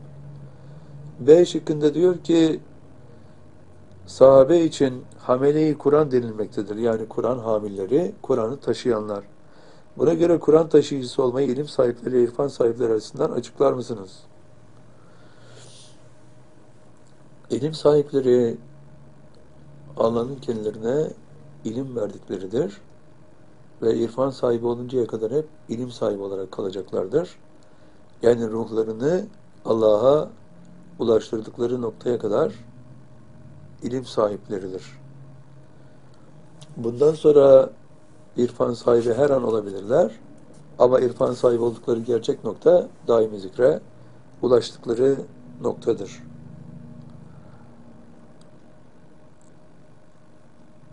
Öyleyse neyle buraya ulaşmışlardır? Kur'an'a ittiba ederek ulaşmışlardır. Kur'an'ın tamamına inanarak, tamamını tatbik ederek.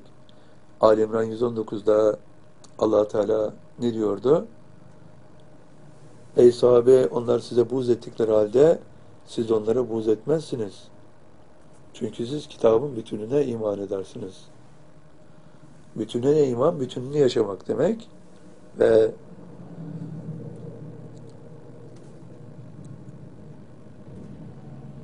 öyleyse burada sahabe irfan sahipleridir. Kur'an'ın bütününe ittiba ettikleri için. Öyleyse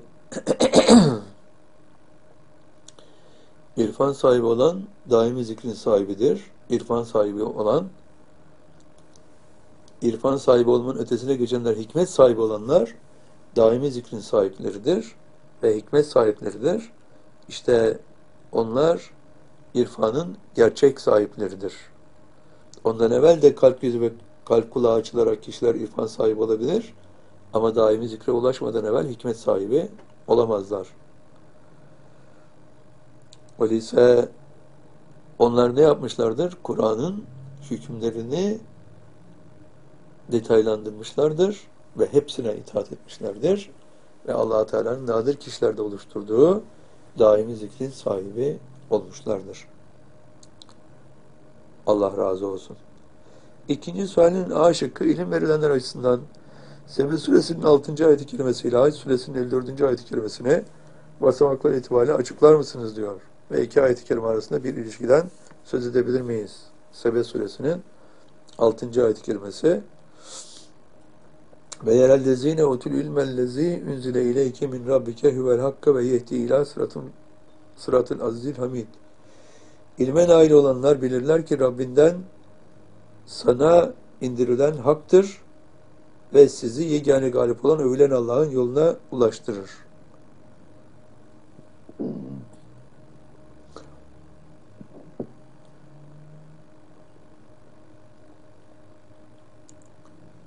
Burada kendilerine ilim verilenler yani ilme nail olanların durumu Haç 54'te bir defa daha anlatılıyor. Ve li ya'lemellezine utul ilme ennehu'l hakku min rabbike fe yu'minu bihi fetuhbite lehu kulubuhum ve innallâhe lehalillezine amenu ila sıratı müstakim.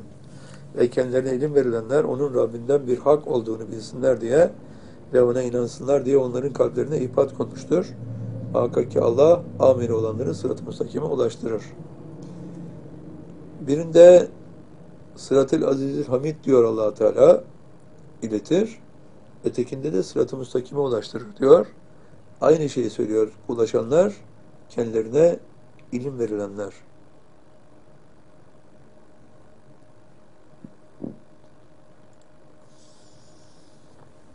Ve her ikisi de Allah'tan indirilenin hak olduğunu bilenler.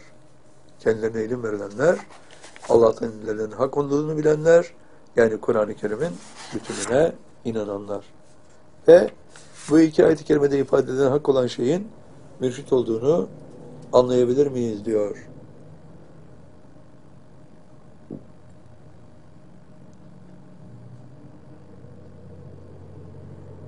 Bundan indirilenin indirilenin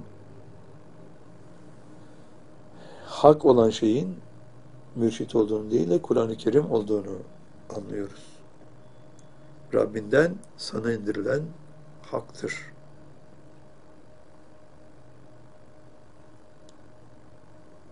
Kendilerine ilim verilenler o ilmin Rabbinden bir hak olduğunu bilsinler diye ve ona inansınlar diye onların kalplerine ipat konmuştur. Dolaylı bir şekilde mürşidi de ifade edebilir. Ama burada Rab'den indirilen hakkın Kur'an-ı Kerim olduğunu Allah'tan Peygamber Efendimiz Aleyhisselam'a indirilenin hak olduğunu yani Kur'an-ı Kerim'in hak olduğunu anlayabiliriz. Mürşidin değil. Üçüncü suali Hüseyin'in İsra suresinin 107, 108 ve 109. ayet-i kerimelerinde kendilerine ilim verilenlerin artan huşuğundan bahsedilmekte. Bu ayetleri tilavet, ilim ve huşu açısından açıklar mısınız? diyor. İsra 107 Kul aminu bihi en evla tu'minu innellezine utul ilme min kablihi izâ yutla aleyhim yahirrûne lil eskâni süceda de ki ona inanılsın veya inanılmasın ondan önce kendilerine ilim verilen kimseler onlara okunduğu zaman secde ederek çeneleri üzerine kapanırlar. Burada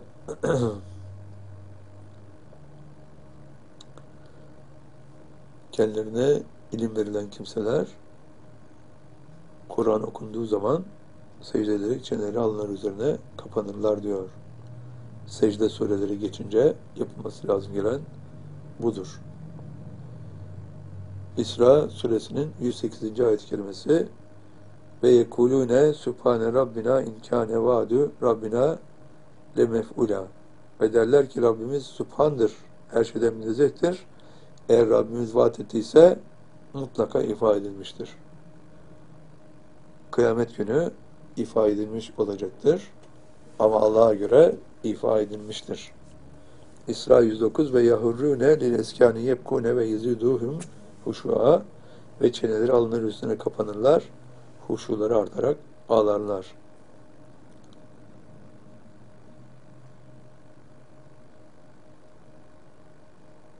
Kendilerine ilim verilenlerin artan huşuğundan bahsedilmektedir diyor Hüseyin. Tamam. Bu ayetleri tilavet, ilim ve huşu açısından açıklar mısınız diyor.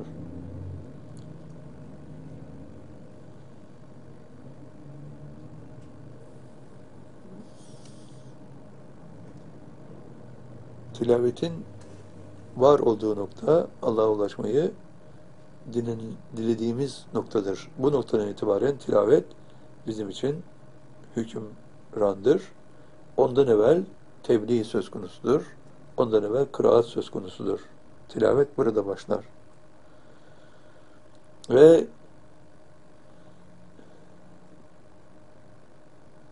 tilavet bizim üzerimizde ilmi oluşturan müessesedir. Huşu ise tilavetin ve ilmin sonucudur. Nefsimizin kalbine Allah'ın nurların inmesiyle huşuya ulaşacağımız ifade ediyor Zümer 23'te. Ama huşu Allah'a ulaşmayı dilediğimiz andan itibaren başlayan bir müessesedir. 20 birinci basamağa kadar, 22. basamağa kadar ilim devam eder. İlimin ötesi 22, 23, 24, 25. basamaklardır. Huşu ise 7 safhada da var olan bir müessesedir. Allah'a ulaşmayı dileyen huşu sahibidir. Yedinci kademede iradesini Allah'a teslim eden de huşu sahibidir. Yedi kademelik bir huşu müessesesi orada tamamlanır. İlimse 21. basamaktan sonra irfana dönüşebilir. Ama 25. 26. basamak ve sonrası irfanı kesin olarak ihata eder. İlmi aşar. Tilavet o kişinin ilmi tamamlanana kadar ilmel yakini tamamlanana kadar devam eden bir müessesedir. Allah razı olsun.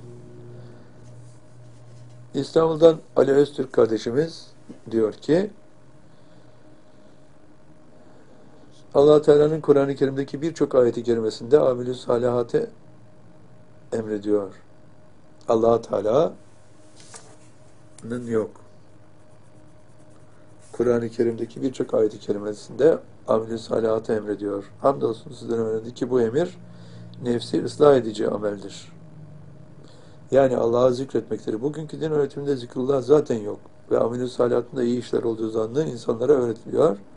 Kehf suresi 104. ayet-i kerimesinde açıklanan zannın bu zanla bir ilişkisi var mıdır? اَلَّذ۪ينَ دَلَّ سَعْيُمْ fil hayatet dünya ve hum yasibune ennehum yusinune sun'a.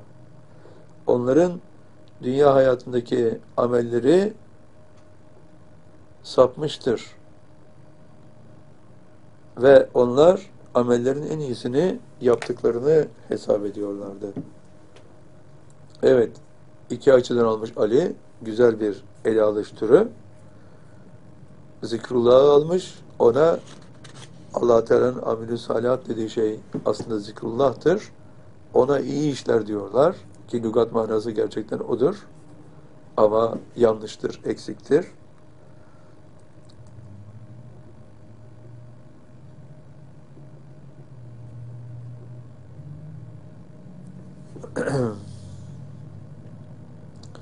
Ve hem zikir yapmıyorlar, birinci hataları bu, zikri öğretmiyorlar.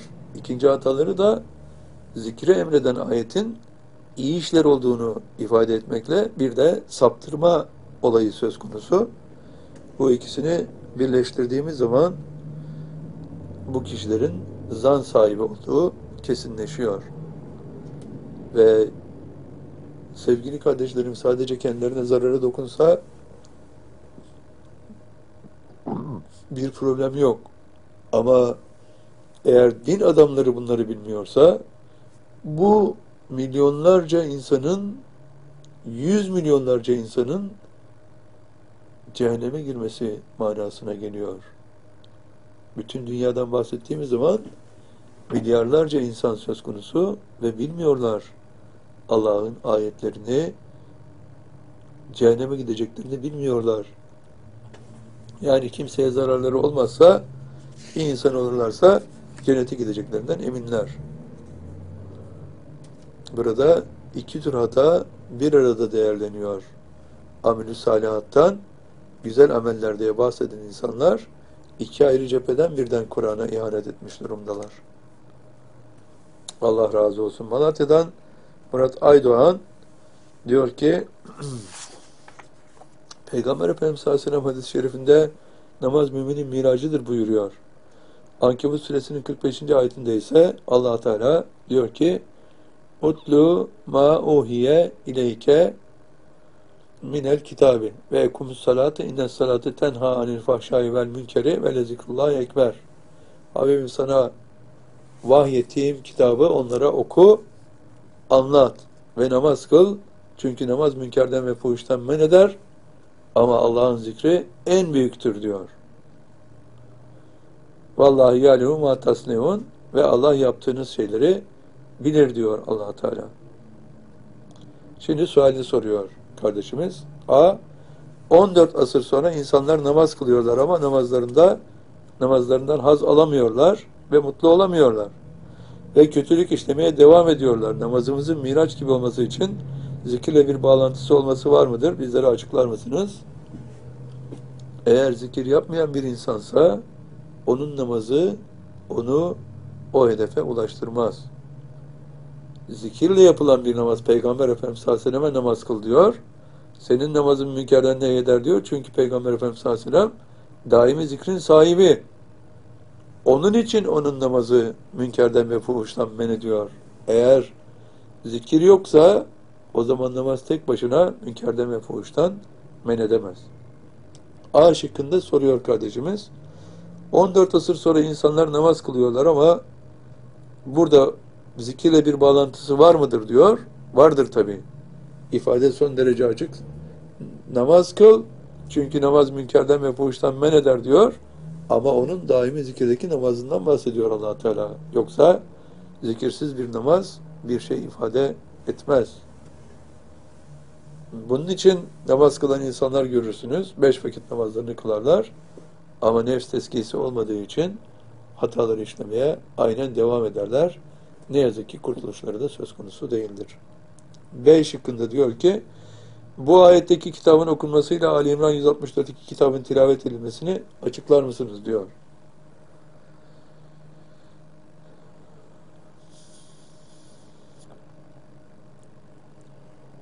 Lekat mennallahu alel müminine izbâse fihim resulen min enfusihim yetlu aleykim ayatihi ve yüzekkihim ve yuallimuhumul kitabe vel hikmete e inkânu min kablu lefi dalalin mübin.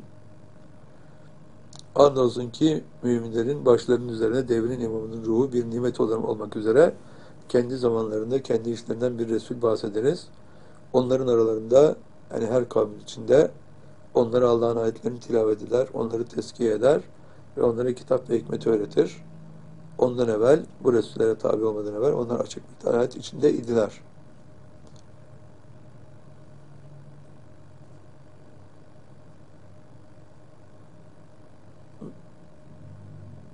Bu ayetteki diyor Ankebut 45'teki kitabın okunmasıyla Ali İmran 164'teki kitabın tilavet edilmesini açıklar mısınız diyor. Aynı şey Ali İmran 164'te de gene kitabın tilavet edilmesi, kitabın öğretilmesi olarak geçiyor. Yuallimühül kitabe, kitabın öğretilmesi. Ama burada safalardan üst safa tilavet etmekle kitabın talim edilmesi, Peygamber Efendimiz Aleyhisselam muallimlik yapması ayrı bir konu. Yani Ankebut suresinin 45. ayet-i kerimesindeki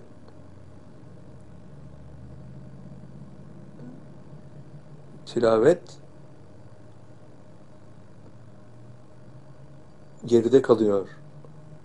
Tilavet ruhu Allah'a ulaştırana kadar geçerli olan bir şeydir. Hatta daha başlangıcına kadar, mürşide ulaşana kadar olan kesim tilavettir. Sonra nefs tezkiyesini gerçekleştirir. Peygamber Efendimiz Aleyhisselam. Ondan sonra kitabı talim eder. Bu talim de fena, beka ve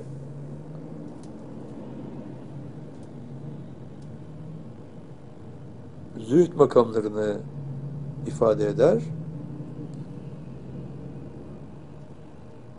Ondan sonra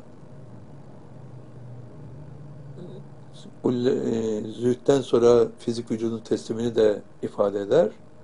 Ondan sonra hikmetin öğrenilmesi gelir. Hikmet de daimi zikrin bulunduğu ihla, ullelbab ve ihlas kademeleridir. Aralarında fark var. Allah razı olsun. C şıkkında ise diyor ki zikrin en büyük ibadet olduğunu hamdolsun ki sizden öğrendik. Ankabut 45'e göre zikirden sonra en büyük ibadetler namazın kılması ve Kur'an okuması mıdır? Bizlere açıklar mısınız diyor. Zikirden sonraki en büyük ibadet Kur'an e, namaz kılmaktır ve Kur'an okumaktır. Bilirsiniz ki evvelden namaz dinin direğidir ifadesi açık ve kesin bir şekilde vardır. Öyleyse zikirden sonra namaz geliyor. Namazdan sonra da Kur'an-ı Kerim tilaveti.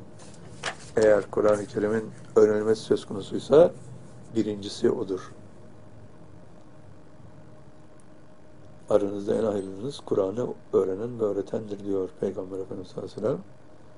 Yani Kur'an'ın muhtevasını öğreten, tatbik alanda geçirmesine sebebiyet verenlerdir ifadesi var. Ankara'dan Metin Pekel Türkçen kardeşimiz der ki bizlere tasavvufu hayatımıza yansıtmamız için çok uğraş veriyorsunuz. Öncelikle hakkınızı helal edin. Hakkımız her zaman helal sevgili kardeşlerim. Biz sizin için varız. Bununla vazifelendirildik. Ve bu bize duyulmaz bir zevk veriyor. Allah razı olsun. Bu istikamette de davranış biçimlerinden de sık sık bahsediyorsunuz. Davranış biçimimizle Haşr 9 arasındaki ilişkiyi bizlere açıklar mısınız? Bu istikamette bizlere neler tavsiye edersiniz? Allah razı olsun. Haşr 9 Vellezine tebevvehud dare vel imane min kablihim yuhibbune men hacere ileyhim ve la yecidune fi sudurihim haceten mimma utu ve yusirune ala enfusihim ve lev kâne bihim hasasa ve men yukaşuha nefsihi ve ulaike humul müflihun onlardan önce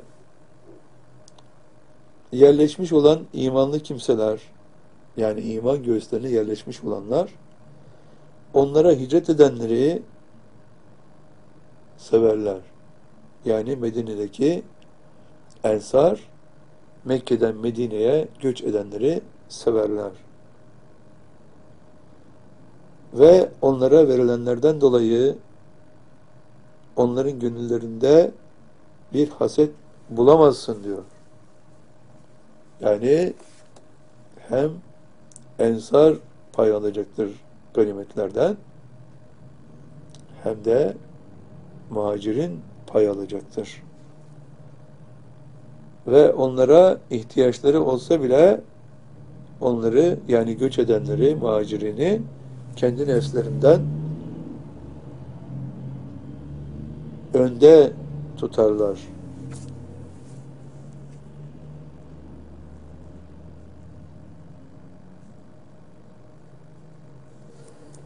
Ve kim nefsini cimrilikten korursa o takdirde işte onlar felaha, kurtuluşa erenlerdir diyor allah Teala. Nefsini cimrilikten korumak sadece dünya hayatında fiziksel olarak para açısından cimrilikten bahsetmiyor allah Teala. Allah'a tahsis edeceğiniz zamanda da cimrilik etmeniz söz konusu. Zaman Allah'ın en kıymetli hazinesidir. Paradan çok daha değerlidir. Zamanınızın ne kadarını Allah'la geçiriyorsunuz? Ne kadarını Allah'a düşünerek, Allah'a zikrederek geçiriyorsunuz? Ne kadarı Allah'a ait? İşte önemli olan bu sevgili kardeşlerim.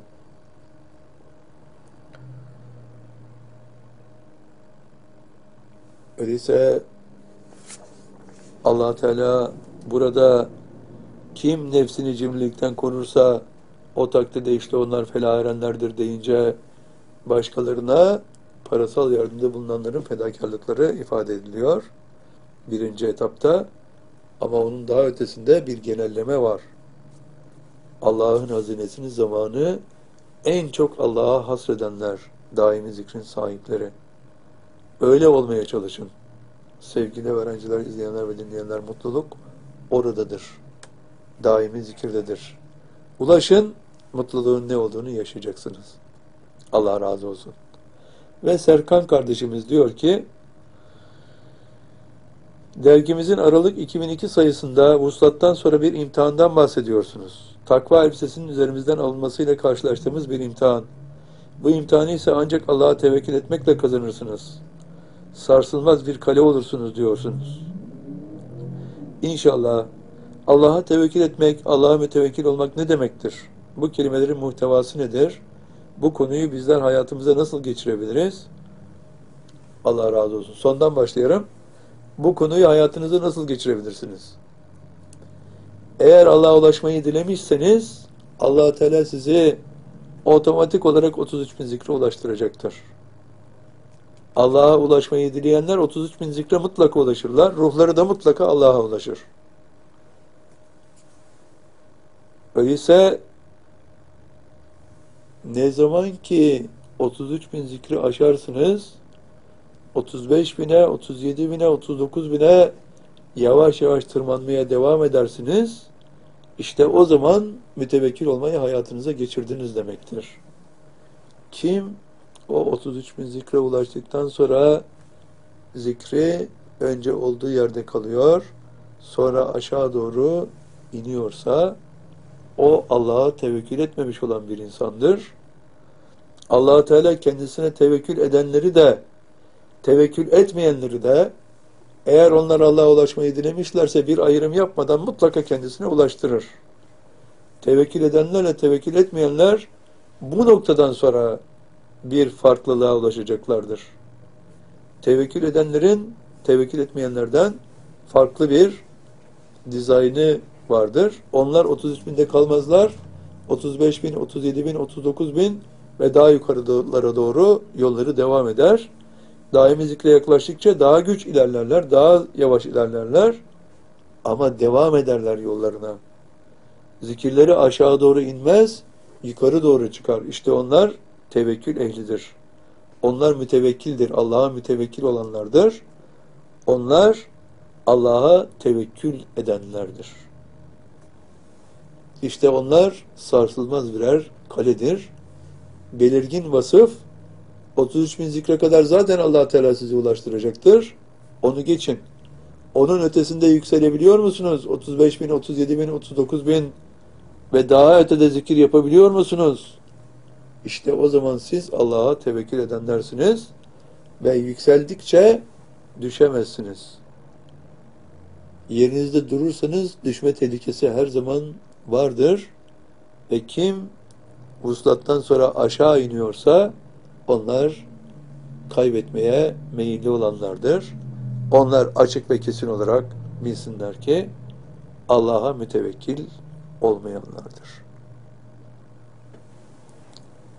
Allah'a ulaşmayı dilemek bir kurtuluştur ama aşağı doğru inmek tehlikedir. Onun için Allah'a mütevekkil olun.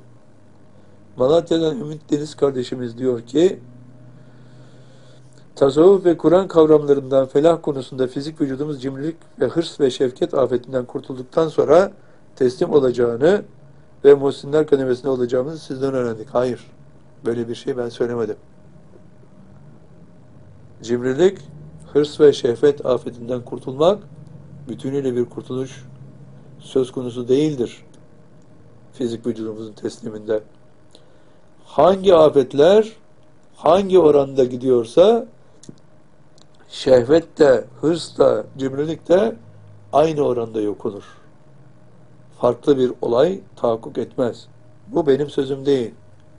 Bunu başka bir yerden almış olmalısınız. Ben de bilmek isterim nereden aldığınızı. Zikirde değişiklik yoktur. Zikir boyunca nefsinizin afetleri, bütün afetler aynı oranda azalırlar. Hırsın ve cimriliğin daha evvel yok olması diye bir olay söz konusu değildir. Muhsinler kademesine herkes gelebilir. Günün yarısını açtığınız zaman bu işin kolaylaştığını göreceksiniz. Zikriniz günün yarısını açtıktan sonra mutlaka fizik vücudunuzu Allah'a teslim edersiniz. Nefsinizin kalbinde hala yüzde on dokuz karanlıklar var olmasına rağmen. Bu durumda nefs afetleri sırayla mı biter? Yoksa her birinde orantılı olarak azar azar azalma mı olur? Her birinde aynı oranda azalma olur. Sırayla bitmez. Bunun nereden çıkarıldığını da doğrusunu isterseniz merak ettim. Her zaman söylemişimdir bunu. Sadece farklılığı ifade ederken Allah'ın 99 tane esması vardır demiştim. Bu esmalardan hangisini çekerseniz o esmada sadece değişiklik olur. Ama zikrullah yaptığınız zaman, Allah'ın zikrini yaptığınız zaman zikrinizle bütün afetler aynı oranda azalır. İki olayı birbirine sakın karıştırmayın sevgili kardeşlerim. Ümit kardeşimiz zannediyorum ki Allah'ın esmalarını Asıl Esmaül Hüsna'yı zikirle karıştırmış ve ayrı ayrı şeylerdir. Asıl olan da zikirdir. Esma-ül Hüsna arızi bir olaydır. Asıl olan Allah'ı zikretmektir. Allah kelimesiyle zikretmektir. Allah, Allah, Allah, Allah diye zikriniz devam edecektir. Öyleyse sevgili öğrenciler, izleyenler, dinleyenler, sevgili kardeşlerim, can dostlarım, gönül dostlarım. allah Teala ile olan ilişkilerinizde muhtevaya dikkatle bakın. Ve Allah'ı çok zikredin. Çok zikirle zikredin. Ve sonunda da mutlaka daimi zikre ulaşmayı kendinize ideal edinin. O hedefe ulaşmak için gayretin sahibi olun. Mihir Vakfı'nın mensupları o hedefe yönelik olanlardır. Sevgili öğrenciler, izleyenler, dinleyenler, can dostlarım, gönül dostlarım, allah Teala'nın hepinizi hem cennet saadetine hem dünya saadetine ulaşmasını, ulaştırmasını Yüce Rabbimizden dileyerek sözlerimizi inşallah burada tamamlıyoruz. Allah hepinizden razı olsun. El Fatiha me'as salavat. Allahümme salli ala Muhammed.